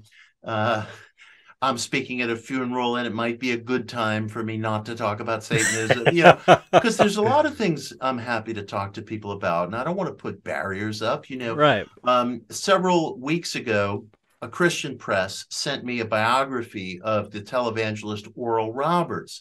And they asked me for a quote of endorsement. And I was like, well, this is a surprise. and uh, I read it and I liked it and I provided an endorsement. And the reason they reached out to me is because um, I write about Oral in my book, One Simple Idea. I wrote about Oral in a piece on Politico, and I have a lot of respect for Oral Roberts, and I'm not opposed to any of the mainstream faiths. And in fact, I'm really interested in the more mystically inclined uh, variants of Christianity, mm-hmm. which sometimes are very socially conservative, like Pentecostalism, right. charismatic Christianity. I, I, I love the, the the mystical expressions that run through Catholicism. I am not in any way shut down or on the other side of right. any expression and or search and and so I was very happy to provide the quote. Um, I'll have to look it up to see, you know, if they used it, but but I was glad that they felt moved to reach out to me, and I I I, I praised the book on its own terms. It was a very very good biography of a very searching figure, but also a very uh, a commercially driven figure as well. And mm-hmm. uh, this is a little bit off off to the margins, but one of the things that I've always been struck by, and this is really something that uh, many journalists and many academics do a very poor job with, you will never understand um, uh, American religion, particularly in its more uh, public or fervent expressions, if you see it only through one lens. Very often, like in figures like Oral Roberts, and I would say the same thing is true of Joel Osteen. There's a mixture of sincerity and guile, sincerity and guile. There's the direct marketing, there's the money mm-hmm. solicitation, and and yet you also find, at least certainly was the case with Oral, and I I mean he left behind letters and records that make this plain. Uh, there was also a search. You know, there was also a search, and there was a friction in this man's life between the side of him that was an authentically searching uh, man of the Bible and and a guy who ran a business and was right. very adept at running a business. And so it's never just one thing or the other. You know, that kind of gets back to what we were talking yeah. about earlier of like, you know, oh, you're just in this for the money. And it's like, believe me, you know, yeah, I'm sure you could find some people who are just in something or other for the money, but there's usually a, a complexity of factors behind what people are about, right. even if, you know, in some cases, money may be the primary thing. But in matters of belief, I've found that people usually have traveled very unusual roads to get where they are. And you know, some of them give in to corruption and chicanery and cynicism. Some of them, like Oral, sort of struggle among, you know, a lot of different impetuses that they experience, but people are very rarely monochromatic. Right. And so anyway, I was I was glad to be sent that book. I was glad to read it. I was glad to endorse it. Uh, I was, you know, that is a a distinct conversation by itself. I don't need to bring everything that I've ever thought about into every conversation I've ever had, you know. And um, but I do need to be free to weave in and out of institutions so I can pursue my search. Yeah, yeah. I just you know I I was sitting next to a woman who uh, I think worked or volunteered maybe at PRS, and uh, I forget. Oh, what's her name that you introduced me to? that was uh, Grace who gave me the broom. Was that is that right?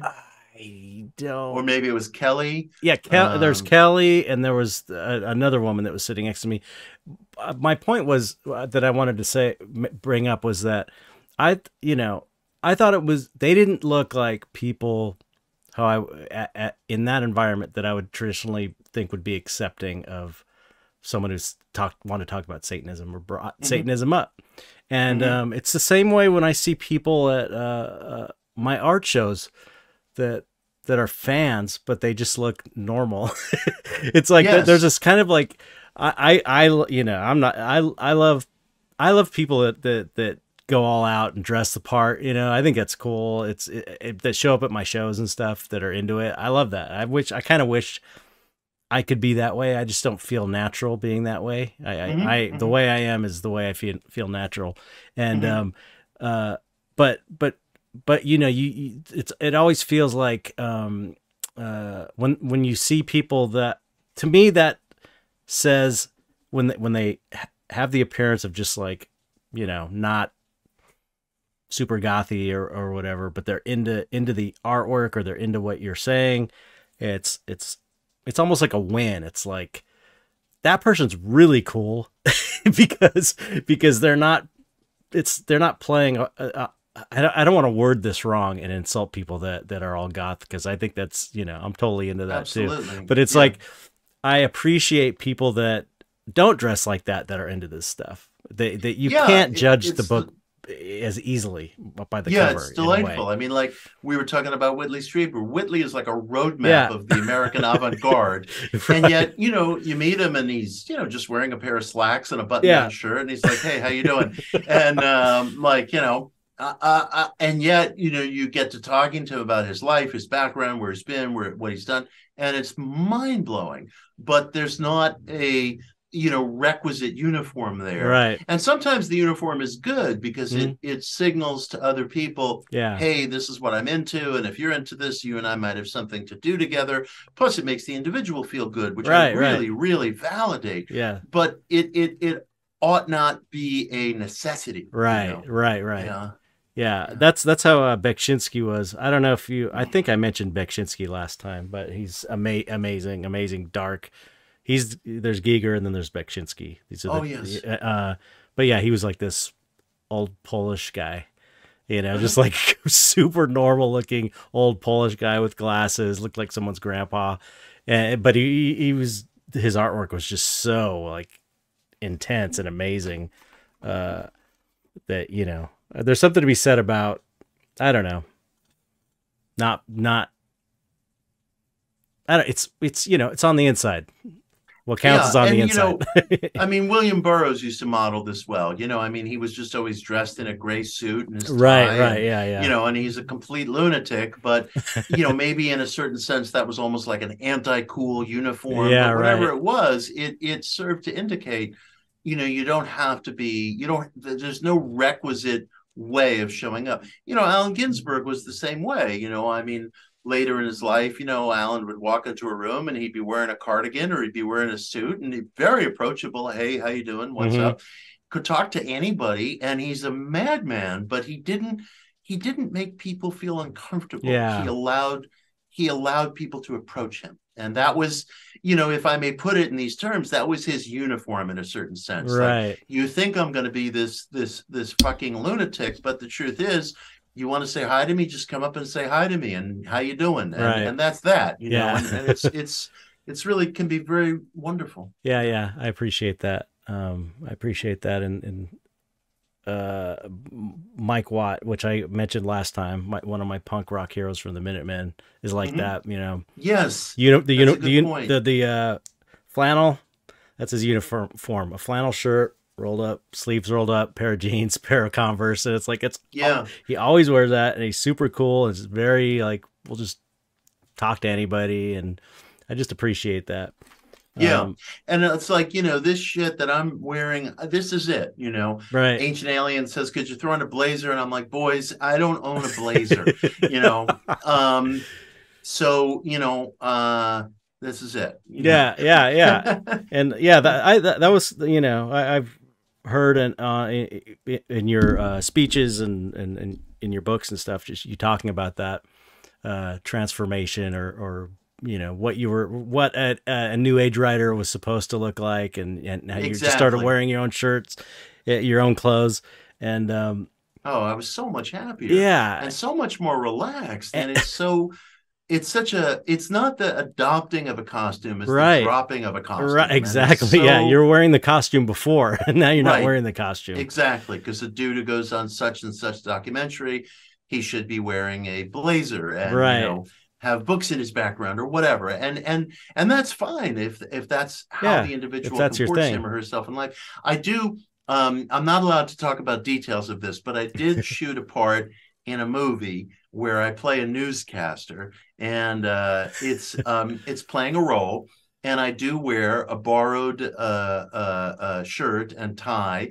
The shirt didn't fit me. We had to put um, safety pins on the on the collar, and then button up the tie real tight, and um, and and and and and and it's playing a role, and I I'm playing a character, and I honor uh, the needs of the drama and the needs of the character.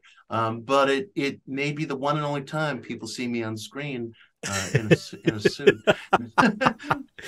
I think that you know that I think it's funny because that was a that was a shrewd, not that you meant it that way, but but y- you could say, oh, that was a shrewd move by you to be the punk rock, new age satanic dude. You know what I mean? It's like it's a, it's an example of following your heart, doing what Yeah. you love, being yourself, and it works in a way and- that is is not predictable. I guess. I, you know I, what I mean? well, appreciate that. You know, it just it came totally natural. Like I remember when I got my first like large tattoo. Mhm. It's upside down here on the screen, but this is Buddy Holly with his feet up here and his head down here.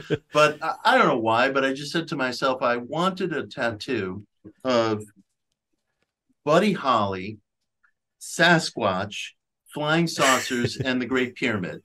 And I asked a couple of people, could you do up a a, a, mural for me like that and i'll bring it to the tattoo artist. And somebody uh, wonderful uh, designer did up this this mural. I brought it to the tattoo artist. He replicated it completely. And i was very happy you know i was very very happy. Mm. and then like you know you'd be amazed. I mean talk about the the manner in which a uniform can help you reach people. You know i'll be going through the tsa line or i'll be crossing a border and one of the uniform dudes would be like, "Holy shit, Buddy Holly!" and like suddenly we're pals. And yeah. you know, it's it's just an expression of enthusiasm, right? Nothing yeah, more. Yeah, yeah. That was one of the good things I think, or uh, one of the things I thought was was uh, smart about Anton LaVey's. Uh, uh, I forget how he put it, but it was like the idea that dressing a certain way is important, or you know, absolutely. Uh, I'd never really speak of thought oh, I, I no I just I hadn't thought about it before until I'd read that. It's like that makes sense, you know. That makes sense yeah. to me. Anton would talk about creating a total environment, yeah. the importance of creating a total right. environment. And Walt Disney was a master of that. And and you see how you know you, you just want every detail to be just so right. and it's a it's a tonic to the spirit in mm-hmm. a certain way and anton it seems to me was very aware of what he could express, what he could get across, what what he could kind of pull off in, in terms of his theatricality. And I say that in the warmest and most affectionate way. Because um, I was rewatching um, Invocation of My Demon Brother the other night, because of course I'm trying to look trying to find Whitley, and I'm like, I'm gonna, I'm gonna find him, I'm gonna find him, and and um, I did not succeed in that. But there's Anton in the movie wearing a cape and his devil's horns, and if a, if someone tried to do that and the enthusiasm wasn't there and the overall package right. wasn't there, it'd be like, who the fuck is this guy wearing a Halloween costume? You know, but he does it and it's alluring, it's threatening, it's mm-hmm. it's there's a beauty to it. Mm-hmm. And um and he he he understood that. You know, he really understood that. Yeah, it's it's it's it's interesting. Um yeah, I uh, uh I have to ask this before. I know we're getting close to the end, and, and you've got a whole other interview um, going on. Take a nap. Yeah, you have, you have a whole other. You have a tonight. nap. yeah, um, I'm in a nap. Yeah. I just had a couple things before before I. Let, oh, take your you time, go. man. Okay. I, I, always enjoy our exchanges so much. I take appreciate it. Uh, um, okay, so one great uh, thing I learned from your writings is this idea that we are selecting reality rather than manifesting reality. That's like mm-hmm. huge for me. I just think it's mm-hmm. like it just as soon as you said it and explained why, it was like, oh, obviously, that makes so much more sense than than manifesting. I remember one time on a little tangent, I did have one time I um when I was younger, I tripped on mushrooms, and I was I I had this kind of vision of this stuff that the universe was made of.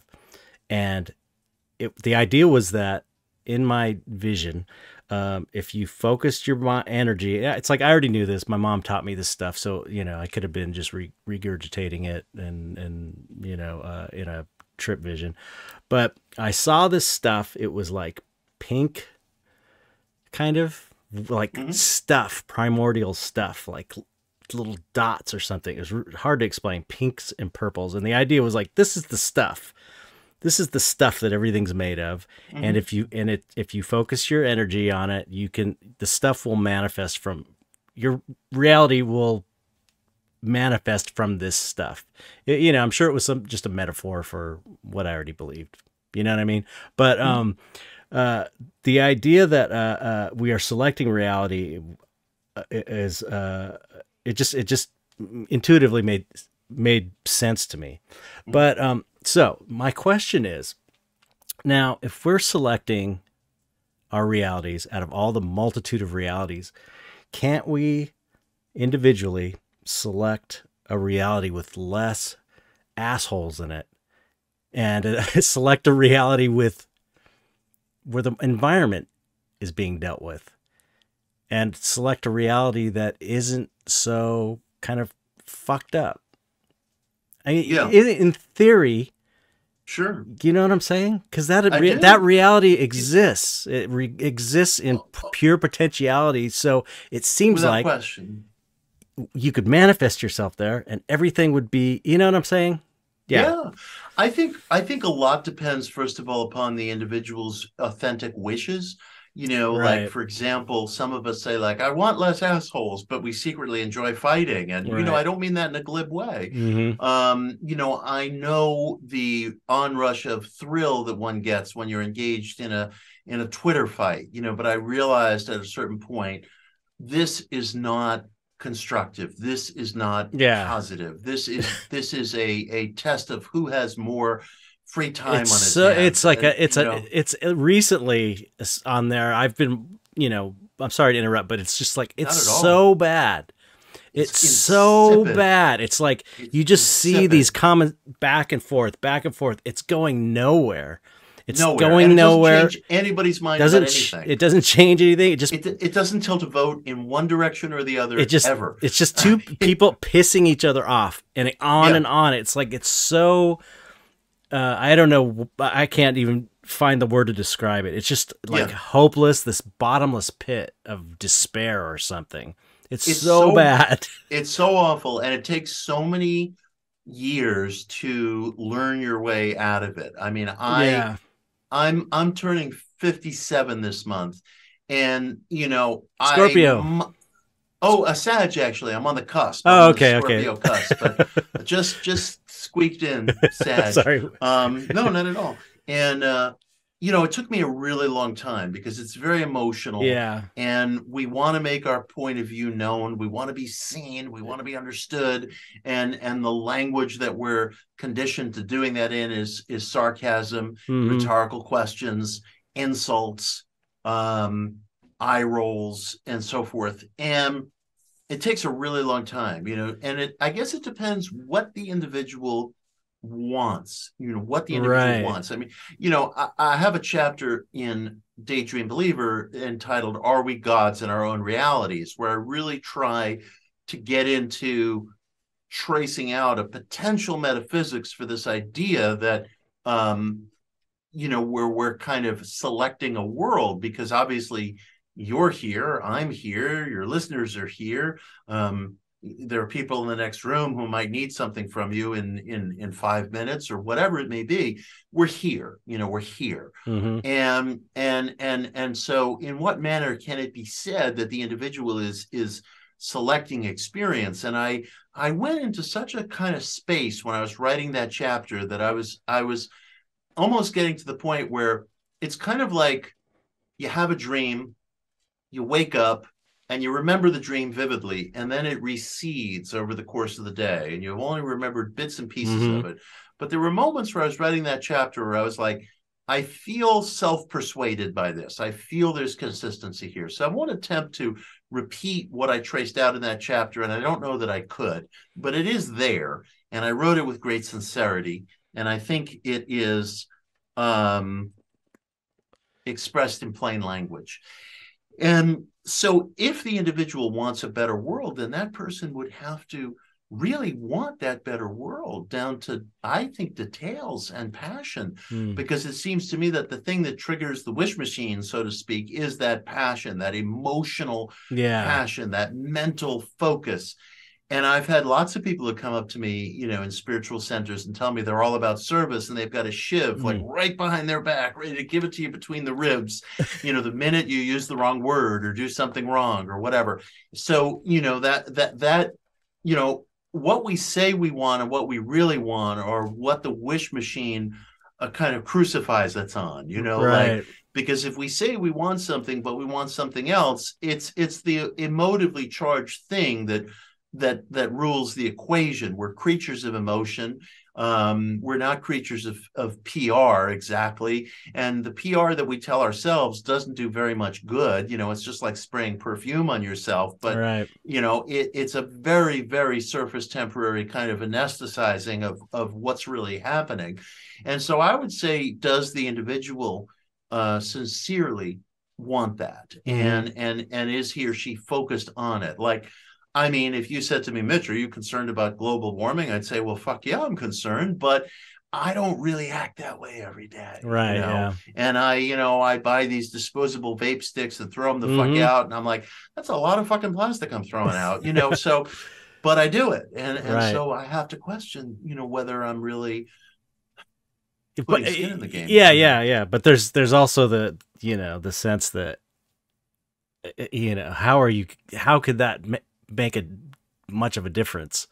Right. That's the, that that's that's good question. That's the whole right. problem right. of everything. It's like how you know. It's like you know we're we're on one hand we're we're it's like we're all along for the ride of this thing that's happening on one yeah. hand, and on the other hand, you've got this power to create your own reality uh, to a certain degree, for sure. I you know it's like I've done it. I've done it for sure. But mm-hmm. at the same time, I feel you know it's it's a weird mix of being on this out of control train that this, this world is, but also having uh, power within your own life to kind of make things the way you want them. It's it's strange. It's strange. It's almost like on this huge level. I don't know. It feels like on this giant level, you can't really do anything about the big thing, but you can do something about the little thing, which is your life. You can't do anything yeah. about the macro, but you can do something about the micro. And you can test that thesis. Yeah, you know, right. I mean, you could really test it. And um, but the macro should affect the micro. So if individual people are doing it, it should reflect in the greater world, right? I would think so. You know, I would think so. Um, and I guess it it has to start to some extent, at least as far as like ethical or spiritual philosophy. It seems to me that the only empiricism we have is experience. So it has to start, it seems to me, with experience. Mm-hmm. And so I always challenge people like desist from trash talk on social media right for one hour and right. see if see what happens just just just that see what happens most people couldn't care less and desisting from it on one hour would be a joke because they don't feel like they're engaging in trash talk right even though they're you know they feel like well i'm just doing what's right you know which is what's, yeah. which i'm sure you know vladimir putin feels yeah. you know it's yeah. like well you know we got fucked when this cold war ended and we're going to upright that apple cart right. i don't care what it costs you know everybody who's ever thrown a rock thinks they're justified. Mm-hmm. Nobody's ever thrown a rock not feeling justified. So the individual has to decide, you know, what what he or she really wants, and then you look, I suppose, for experience and see if there's some correlation there. It seems like if you know the idea that you know you're talking about these scientific studies where one thing affects another thing, you know, at great distances, yeah, and everything has an effect on everything else. It seems to me like if there was any way to uh, actually make the world a better place, it would be by starting. And it sounds selfish and kind of goes against what people tell you. It's like to get your own life to to affect your own life. It seems like that would resonate.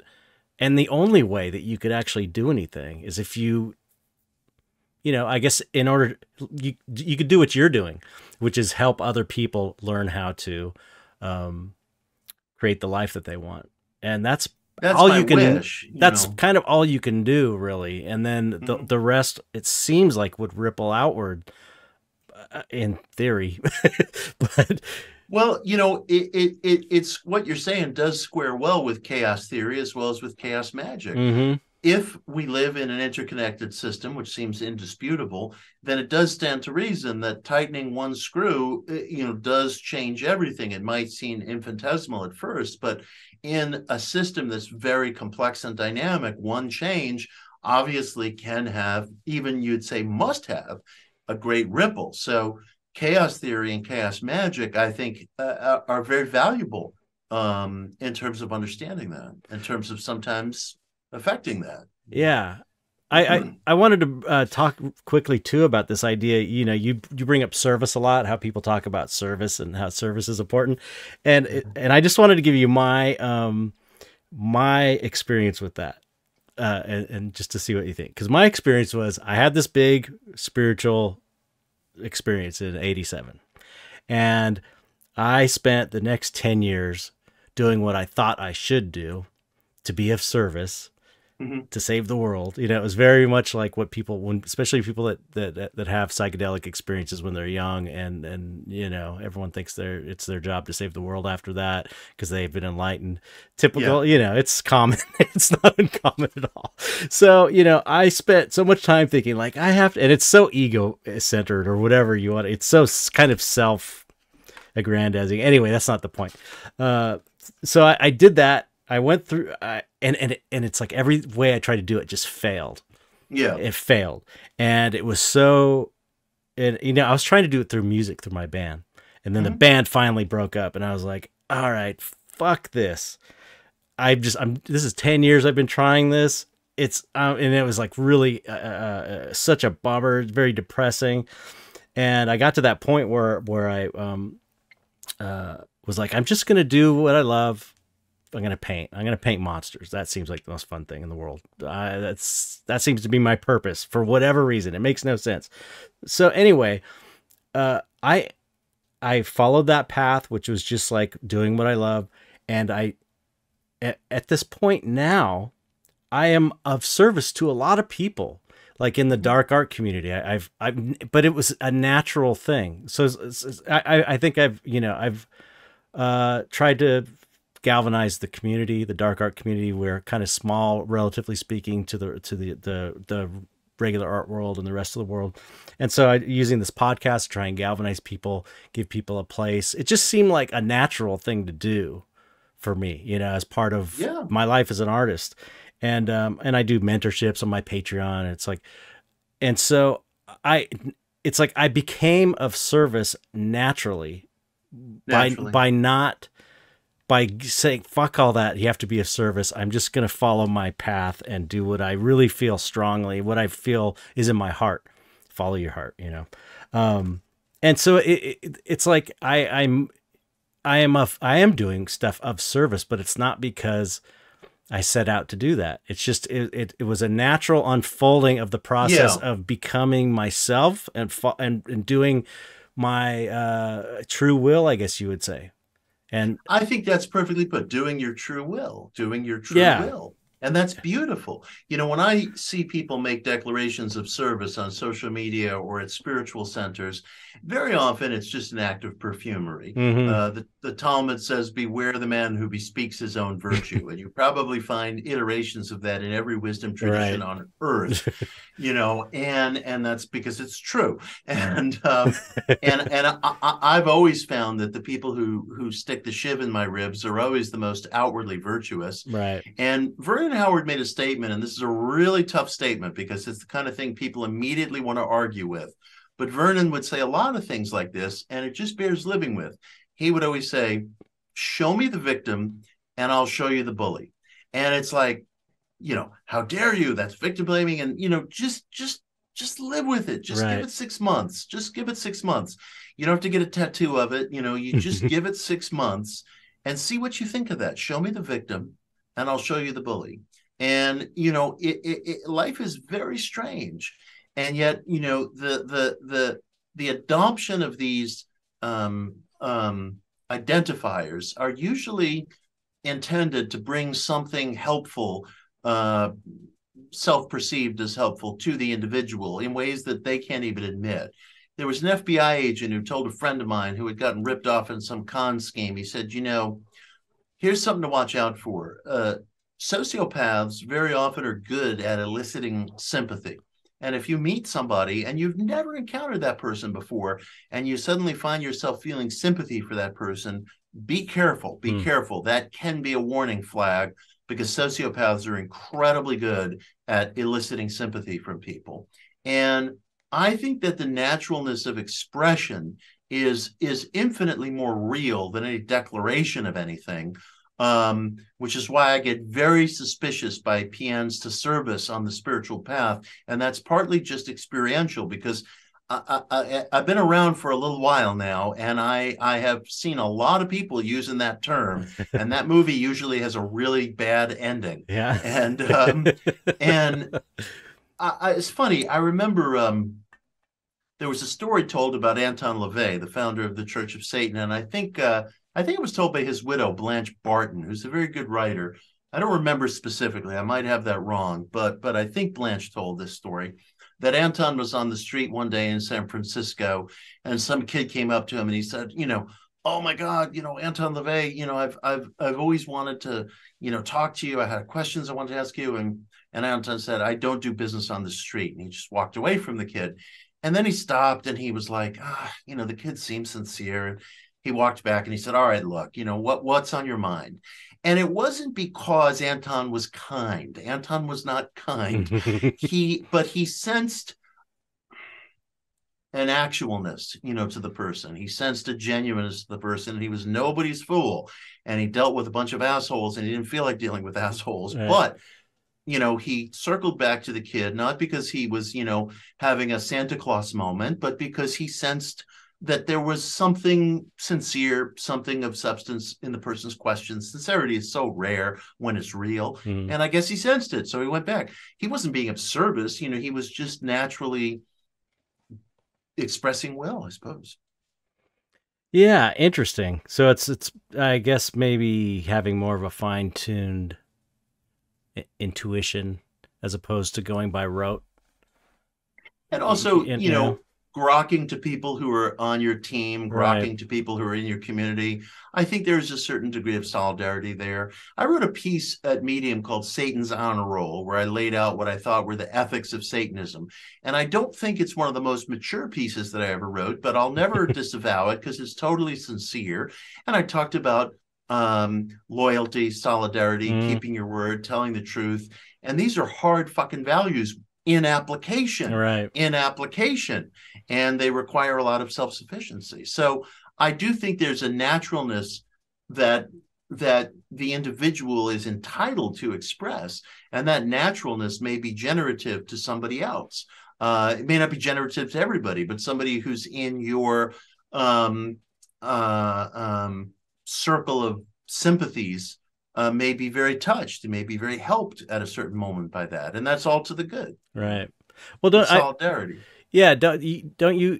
I mean, I feel like you know your your path has also been has resulted in service to others throughout the expression of your true will don't you kind of feel that because it's like you know you're writing these books that are helping people but you're doing it because you're interested in it and you love to write and you love to speak and you love to present these ideas to people it's you're not necessarily doing it so that you can save the world. You're doing it because you love to do it. And as a result you are being of service inadvertently. You know what i mean?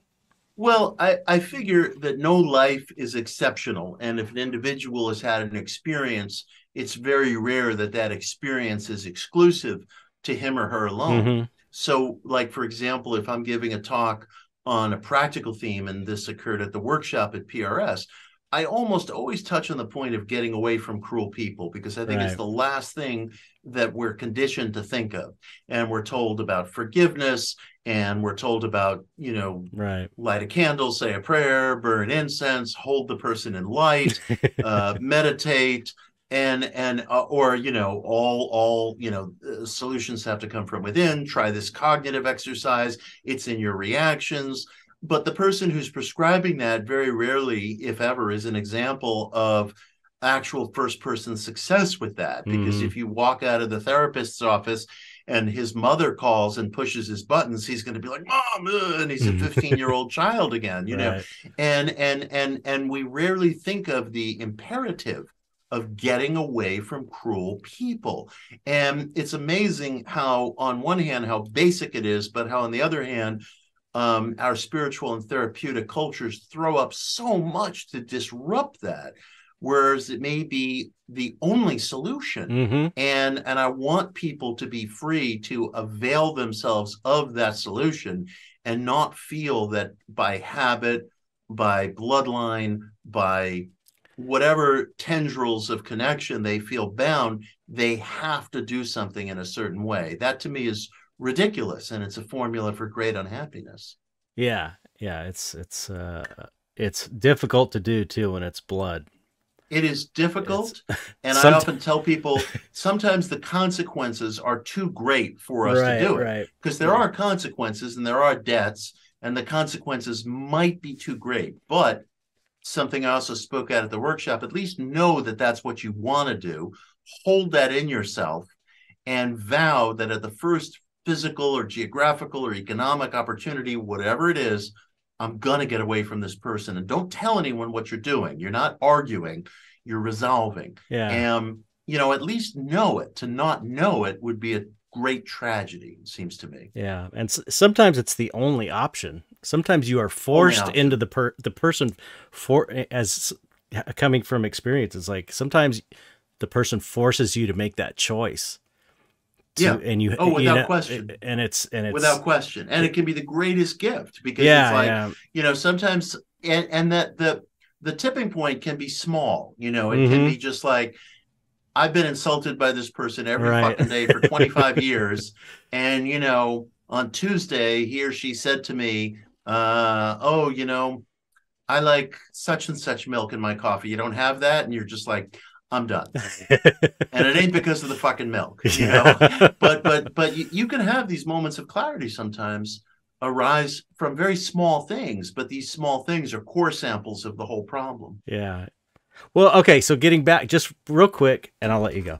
So getting back to uh, uh, the the service idea, don't you kind of feel like you're you're you're being of service to people, Well, and uh, I not not ma- necessarily intentionally, but I mean, I would say that p- your readers. no, no, just just in the in the in regards to you know you bringing up kind of the hypocrisy of how people yeah, talk about service and it being an obligation and things like that. Uh, I would say that all of your readers, myself included, feel like you're being in service of us with by uh, sharing your ideas. So, you know, you you you are intentionally or not. I mean, you don't agree? well, I, I have an allergy maybe to the term service. Uh, I'm Well, not a big service guy. I'm not a guy who uses that term. I'm only bringing it up because you. but I do so believe often. in defending uh, people I love.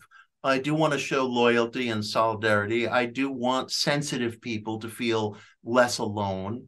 Um, if somebody is sensitive and if I feel a sense of kinship with that person, defined however broadly, um, uh, I I I find it a positive expression of self that that person feel less alone. So if there's an idea that strikes somebody that facilitates a better life for that person, I am gratified by Mm.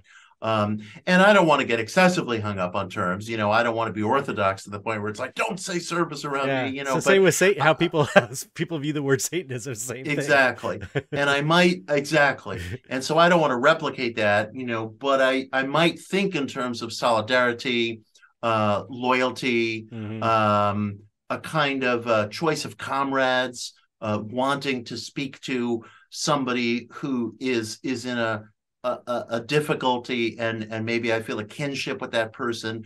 I think that I enter into that a lot in the best experiences I have with my readers. You know, I mean, not Mhm. everybody likes my books. You know, there'll be the errant person who's like, you know, he's a motherfucker, and you know, and they, you know, he's being so negative, and it's like, well, they're not getting it Yeah, because right. you can't have genuine ideals unless you see life in all of its consequences, including its catastrophes. But but but but but that only deepens the wrestling match, you know, with all this material. And if I can reach a reader and I get so many beautiful, beautiful emails from people, and I feel a sense of authentic kinship with that with that person.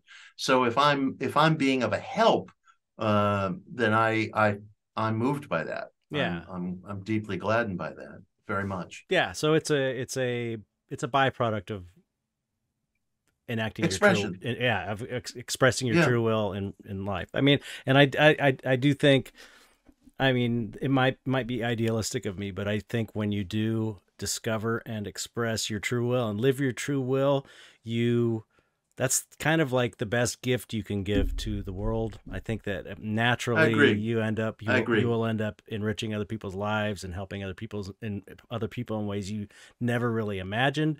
And it's a real true it's a real help. It's a pure help. It's real. It's not a I'm doing this because I think I'm supposed to for whatever reason. You know what I mean? It's almost like Yeah, the, the reason for the help makes a difference. Yeah, you know. Yeah, uh, you know, Gurdjieff, I think, would use the term "help," and I like that. I like that term. I okay. just like it. But uh, again, we'll I don't want to create a liturgy. yeah, no, it's okay to say service. Kidding. I mean, I don't want to create a liturgy. You know. Yeah, yeah. yeah. Um, but I, I, I resound to you know that resonates with me. Yeah. Cool. All right. Well, I'm going to let you take your nap. I really thank you. I totally appreciate you coming on again. I, Pleasure, I, I could keep Pleasure. I could keep going. I could go for you know a long time. We'll do it again yeah, soon. Yeah, we'll yeah. do it again. You're you're. I always dig it. Yeah, yeah. You're the uh, you've got an open spot on here. Let me just show this for people who are wa- going to watch on YouTube.